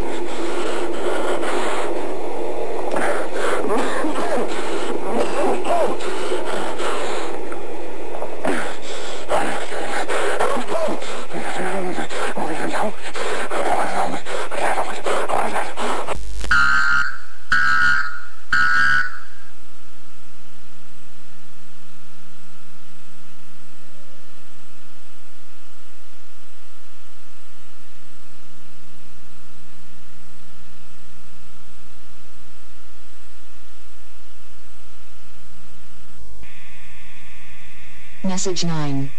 March 30th, time unavailable.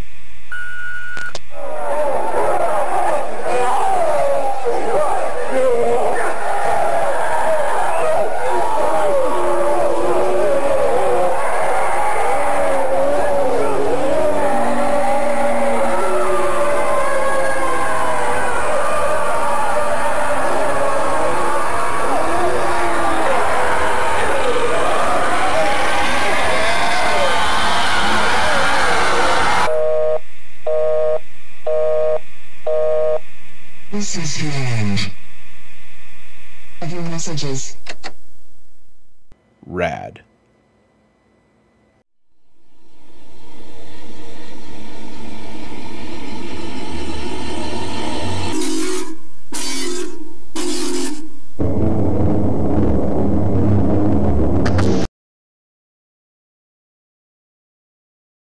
Tape zero zero seven. Authorities continue to investigate the recent crime wave that swept across northern Berkshire County.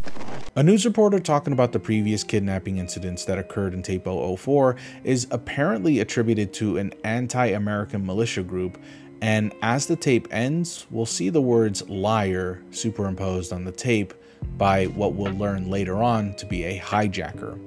Obviously, this whole militia story is a cover up, but the cover up goes deeper as we see a brief flash of a newspaper that apparently shows that the people around the area have started growing extra limbs, growing out teeth from their scalps, and developing severe psychosis. The area in question, of course, being Berkshire County. By the way, this name is going to be important later on, but let's move on. This is then followed up by a flash of the parents whom we assume belong to the disappearing baby in tape 005. Well, I don't think we could just say assume, we flat out know that this is Tiffany Crisaldi, as her name is mentioned in tape 005 just towards the end of the whole video. And here we see her name and face once again. One last thing to note before we move on to the next tape is that this police officer's interview kind of gives away something pretty important. Look behind them. Mount Greylock. This is a real location in Massachusetts, and I'd like to remind everyone that this so far is not an ARG, but rather an analog horror alone. And I'm saying this because I'd really hate it if people just started visiting the area and calling up local joints just to find clues to a story that has so far not asked for audience participation. You might think that's totally unnecessary for me to say, but uh, you know? So, why is this important? Other than it being the name of the series and all that. Well, for starters, it's the cause of everything. Remember the mining those suckers did in Tape 006? They mentioned they were digging in an unspecified mountain. But here, we're given a blatant answer. This is a mountain that belongs in Massachusetts, and the series is naming itself after this mountain. So, with all that added up, we can now assume with confidence that this is actually where everything is happening. After all, if you actually look at the mountain in Google Maps, it is right next to Berkshire County, the real life one. This horrendous stuff that's happening to the people within this county has always been attributed to Mount Greylock. Something was awoken in this mountain, and it's causing havoc to everyone nearby. Everyone within this area is going to face some horrible Pharaoh's curse like shit if they haven't already.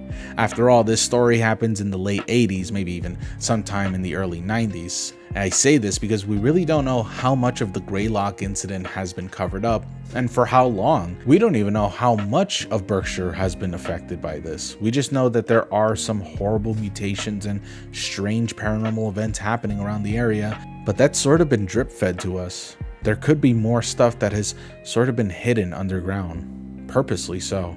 But we get a more deeper explanation with Tape 008.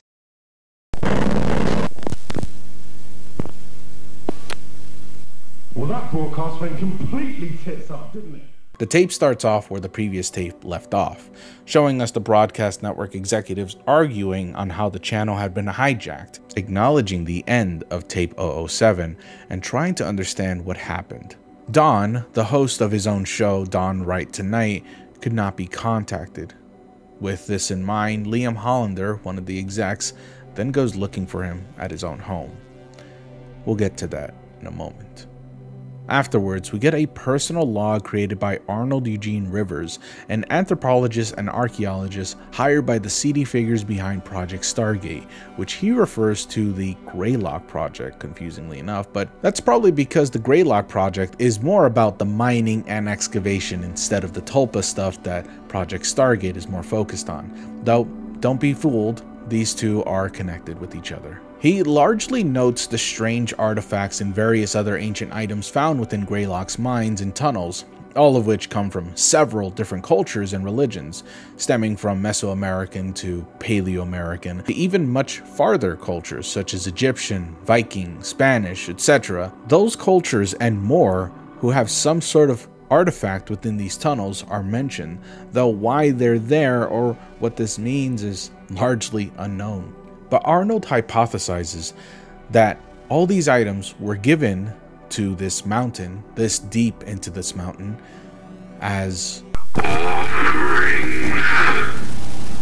we then briefly see more of WRAV's programming. The show that was on briefly was called Cosmic Mysteries, which at this point was giving us a brief lesson on how the Earth and the Moon were born. Not much can be said here, except for this brief staticky part. Kind of looks like, I don't know, a face. I mean, doesn't it? No. But if that really is a face, then this whole little history lesson on how the moon and earth kind of collided and created each other is probably hinting at what exactly is happening here in this story. But for now, we'll be moving on from this, mainly because I don't have any evidence moving forward from what I've seen that sort of connects these two together. But from there on, we hear a disturbing phone call made by Liam Hollander, where he had found his coworker Don Wright and his own home. Hill Road in Adams, uh, number 491. 491 Parker Hill Road, is that right? Yes. Okay. Can you tell me, is anybody hurt? Liam, are you still with me? Is anybody hurt?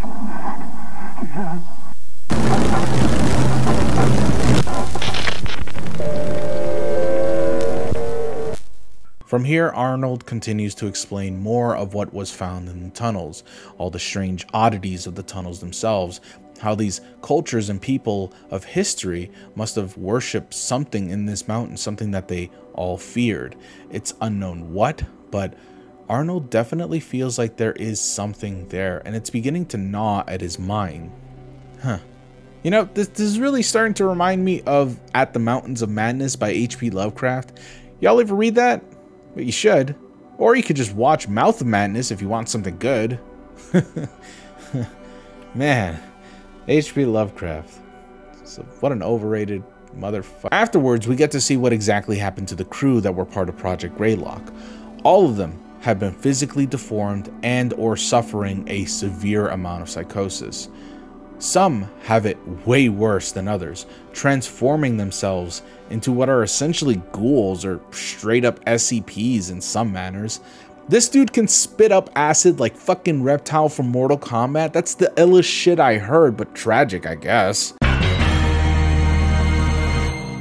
Arnold continues on being thankful that he wasn't affected like the rest of the crew, but has noted a sense a paranoia has developed in himself because now he's pretty much terrified of being caught as he is now a whistleblower trying to unveil the truth of what happened on Mount Greylock. Going so far as to hiring a private eye to investigate what he has told him. The same one mentioned, by the way, in tape 007 when the newspaper flashed up on screen. Jim Melgren. Just as Arnold feels relieved to get this all off his chest, he hears a noise. And realizing that this is an analog horror series, he frantically looks for his camcorder. and, I'm sorry, uh, he frantically looks for his camcorder to amp up the spooky vibes. I love analog horror, and this is what occurs.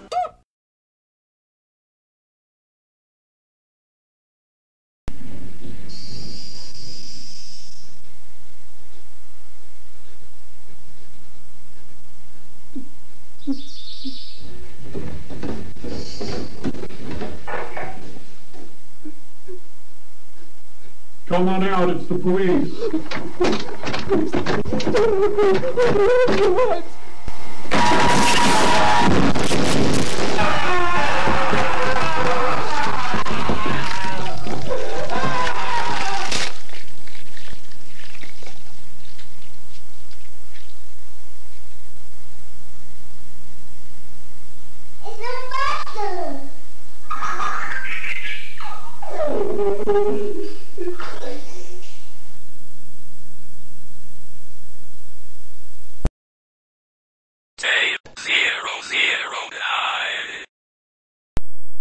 Accessing GBS properties. 101. WRAV. FM. Radio station.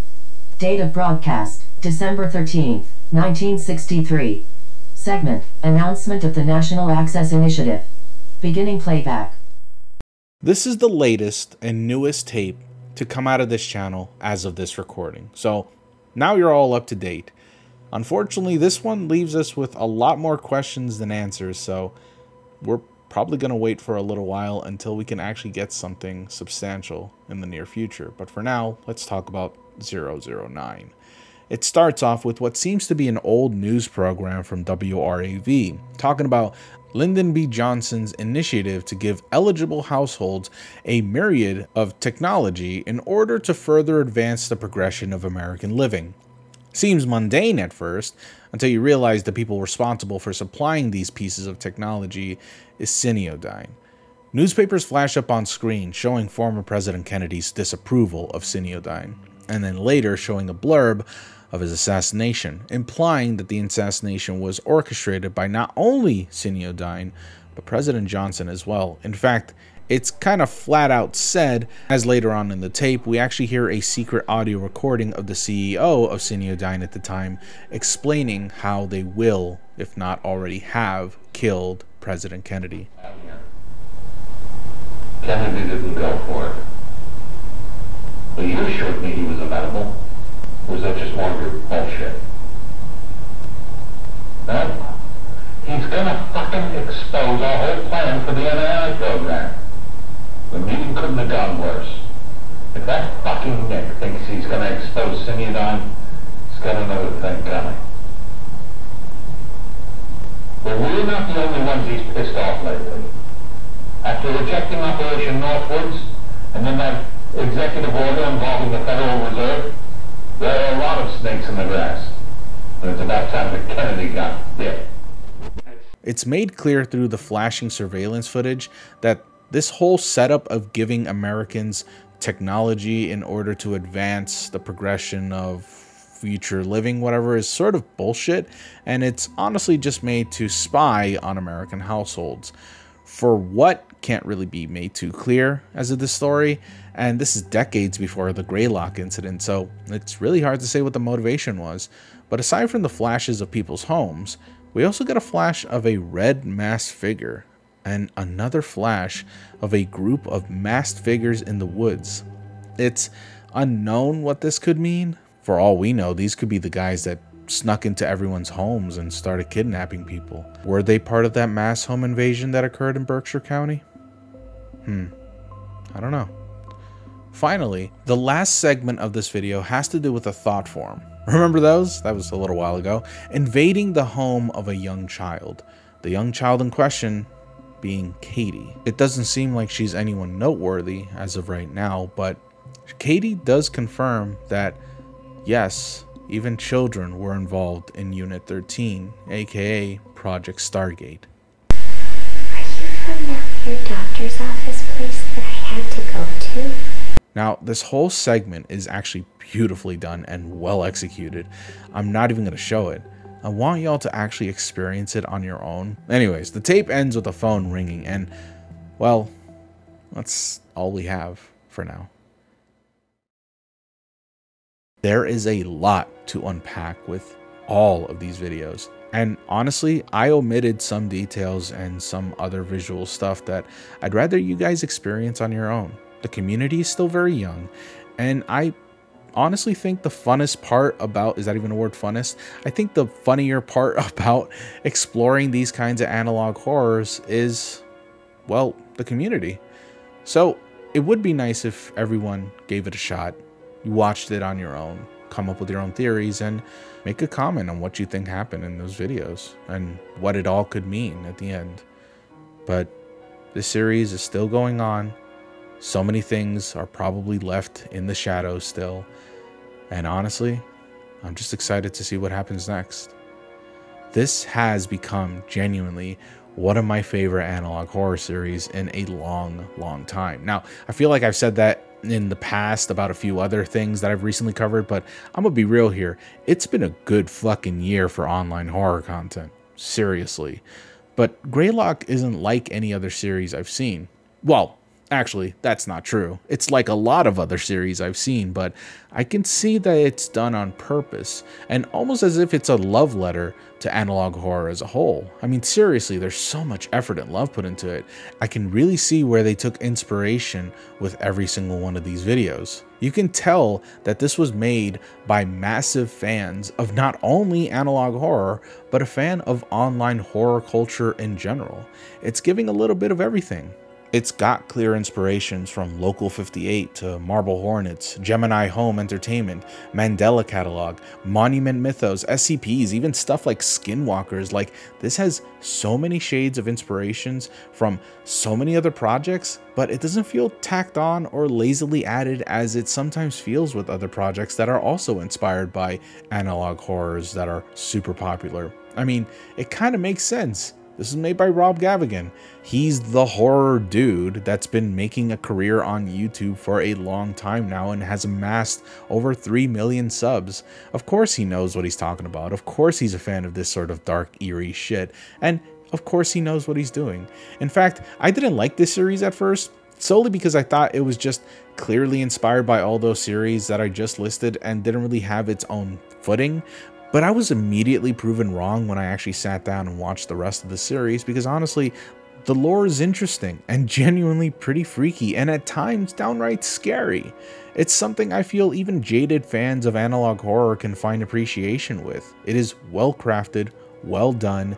The acting is surprisingly well done. The lengths that it has gone to just to be as authentic as possible is insane. And really, I just think this series deserves more of a chance than what it's currently pulling.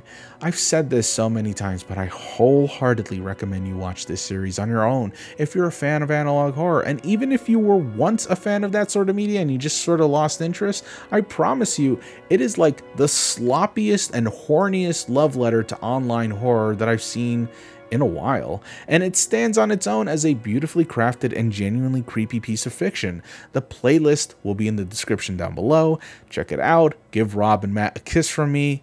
preferably on the lips and on the forehead and on the top of the head where the but anyways, enjoy the rest of the series as it continues to unfold.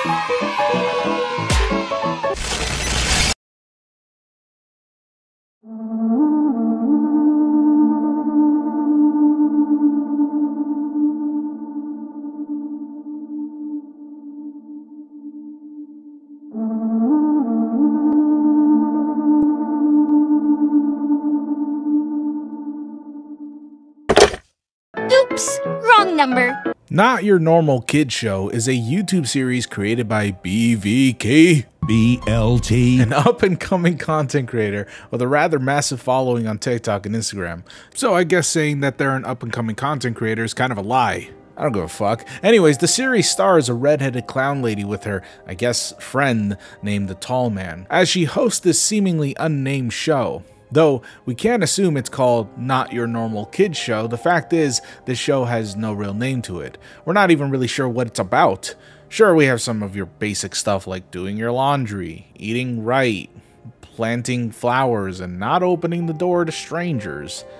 But shit gets real fucked during each and every one of these episodes, such as the aforementioned plants turning into horrible zombie hands as the screen glitches, an occurrence that happens frequently that often changes the nature of the video itself, sort of like giving a glimpse of the true reality lurking underneath this facade of a clown fuckery. There does seem to be a sort of thinly veiled messaging with each of these videos, mainly pertaining to content creation and the thin line between creating and creator, but with this series being super new and with only 8 episodes available, it's super hard to really pin down what the story is, if there even is one.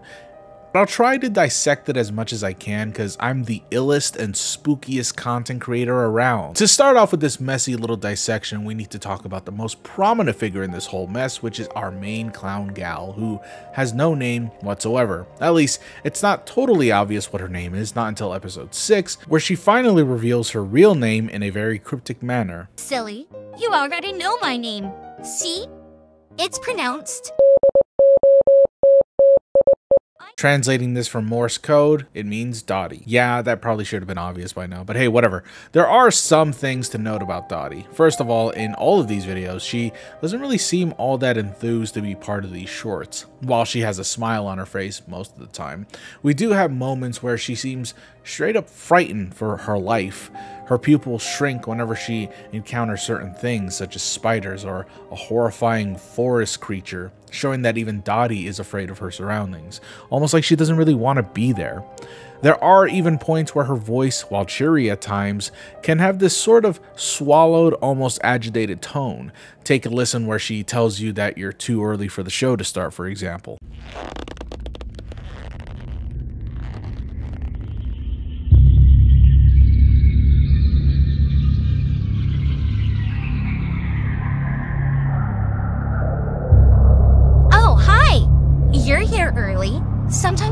Be early. But our show starts at a specific time. You should remember that. Let's get started then, shall we? It's pretty sarcastic and kind of annoying. I, I, think it's clear that she doesn't really enjoy making these shorts, almost like she's a prisoner in making these. That's made more clear with episodes like episode 4, where the back of her head is shown to have another face, one that's deformed and looks almost tired looking with a strange dotted pupil.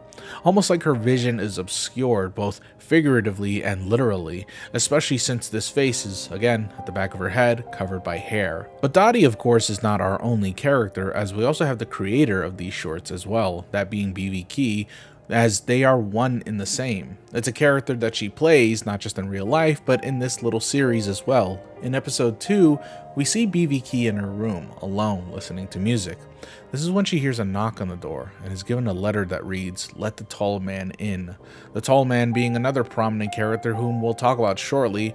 For now, what's important to note is that the Tall Man is an oppressive figure that seems to loom over her life and, at the end of this episode, seemingly kidnaps her.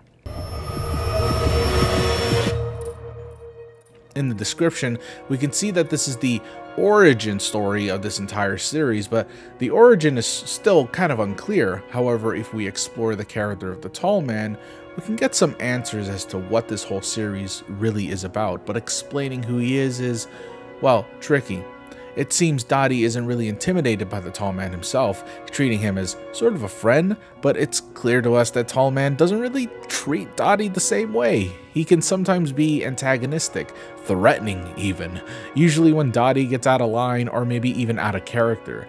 Sometimes the tall man is missing, and it's stated that you shouldn't let the tall man in. Though rather than asking who the tall man is, we should be asking what he represents, because he doesn't really seem like he wants to kill or even seriously hurt Dottie, but it also seems like he's not a friend of hers either. If I had to make assumptions, I believe the tall man is more of a business partner to Dottie than anything. Now how did I get to that conclusion? Well, I think it's worth reading between the lines with this series. Again, I must reiterate that this is a young series. Things could change from here onwards as the series progresses, so I am interpreting the series with what I have now, and I think this series is all about content creation and the toxic nature of constant creativity. Now, you can disagree and approach this series at its face value, but the way I see it, I think Dottie is a representation of people online who play characters, mask themselves as something that they're not, even when said person doesn't really want to be that character or really feel like doing it anymore. Most importantly, I think it represents that dark and somewhat disturbing era of YouTube where kids' content was uncurated and mainly trash. I mean, yes, it's kind of still trash, in fact, mostly trash to this day. Not much has changed, but during that weird time where Elsa's Spider Man shit was thriving, I think making kids' content was just a much easier and fruitful endeavor for even lazy people. Kids were exposed to some heinous and gross shit out there. I mean, YouTube Kids app, like I said, still has some weird and sometimes unbelievable amount of shit just lurking around. It's very low effort and can really be traumatizing to some kids nowadays, but I, I, think the messaging behind this is twofold. Not only is it a commentary on the shitty, sometimes horrific kids content people make today, but it's also a commentary of what content creators face when having to constantly talk about something new and creative. It drains you quite a bit, and I've discussed this earlier this month with a video I made. Yet sometimes you feel tethered, if not totally chained, by your work here, because you ain't got anywhere else to go. And that's why Dottie seems kind of like a hostage to the tall man who, with his business suit and very tall visage, represents the people who do business behind the scenes, the people upstairs. You know, those guys YouTube, TikTok, Instagram, whatever social media you dwell in and make your living on, you can expect that those kind of faceless entities just exist there and only care about one thing, and that's the content you pump out. They're not outright trying to destroy your channel or your chances at success, but they don't make it easier either. They hold you on a leash, making sure that you do make content, but they're also not friendly about it. When you cross that line, you're at risk of being in trouble, possibly facing termination. It's why we see the tall man abducting the creator of the series so that she's forced to make content whether she likes it or not. It's why Dottie has a tired look on her face, at least at the back of her head, because at the back of her mind, she's contemplating whether making this content is worth it. It's why that same face is veiled up by their hair and the eyes are dotted, because now the creator is literally blurring the lines between their character and their real life. It's why when you approach her without her knowing that you're there, she gets annoyed because she doesn't want you to see that part of her. Not only that, but there's also the creepier aspects of this whole series. The spooky little sun, the strange alarm clock, the awful spiders, they just seem really out of place and have pretty much no symbolic meaning whatsoever, at least not to me. But I think in my interpretation at least, I think this also represents what Dottie and an extension the creator really want to do. Sure, it's easier for them to make kids content, but I think these thoughts they have, these creepier aspects of their show that slowly eke their way into the series are just manifestations of what BB Key wants to make. She wants to be scary, she wants to be spookier, to the point where there are these glitches that sort of give you a glimpse of what she wants to do. There's even an interesting point in episode 7 where a wolf is approaching Dottie and she seems scared for her life, and something is about to happen when the tall man appears and suddenly the wolf vanishes. The tall man, being a manifestation of the more corporate side of these websites, would obviously not want Dottie to make this sort of content because, well, I don't know if you guys know this, but making creepy content on YouTube can be a fucking nightmare sometimes. Like, guess what? Creepy content is sometimes violent and deals with dark subjects subject matter. So of course, that makes it a lot harder to monetize and sometimes these videos get suppressed. With that in mind, it's obviously more preferable for creators to make family friendly content so that it's easily monetized and discoverable, even if it is low effort and not exactly what most content creators want to do or make. Regardless though, this is what sells, so to speak, and reaching a wider audience as seen in episode 8 where Dottie is seen talking to a younger man who's up really late at night just watching TV I think this episode represents a parasocial relationship one obtains when making this sort of content. I mean, most of us probably watch TikTok or YouTube Shorts or even Twitter, or I mean, I guess X, whatever, I don't give a fuck. We go to these websites or these apps right before we go to sleep, getting absorbed by nonsense and sometimes a certain person's content. We are absorbed with this person we don't know and start binging their stuff rather than actually going to sleep. I mean, it's definitely deep commentary, but again, I can't stress this enough. This is my interpretation. I could be looking at this way deeper than the creator intended. Maybe this really is just about a clown facing horrible nightmares in this horrible ghoulish world. Maybe it's about something else entirely. Or maybe there's a story buried within that that I just totally missed. Which of course leads me to one character that is seldom mentioned but definitely present, that being Mother. Mother baffles me a bit. I don't really know what she represents in my theory. She's a creature that has a strange diet and seems to scare Dottie quite a bit. In episode 5, Dottie is seen feeding her mother baby tomatoes, I, I don't know what they're actually called, and chicken, quote unquote, which is very clearly a carved face. In episode 7, we see Mother wearing that face very briefly. What this could mean or what Mother represents, I'm not really sure. Maybe she represents the hopes and dreams that she never got to accomplish. Maybe it represents a literal overbearing mother that wants to see her daughter succeed where she couldn't. Who knows? Honestly, much of the series' mysteries have been unsolved, and there's a lot of clues and hints that I just didn't bother mentioning because they don't really make sense at the moment, or because I feel like this would be a fun little channel to revisit sometime in the future, when it's actually complete, that is. So I encourage all of you to check out this series while it's still going. The links will be in the description. Watch these yourselves, solve these riddles on your own, or with the small community that this has cultivated. And make sure to show the series some love. Because with the amount of attention and care given to the series so far, it's really obvious that there's so much work put into this. And honestly, I'm just glad I got to talk about something that's not an analog horror. Sorry, Greylock. I love you a ton, but only as a friend. Sorry. Even if it was, I, I feel like it'd succeed either way, this little series, because it's interesting and it's got a lot of weird things about it that I really want to see flourish in the future. So, check it out.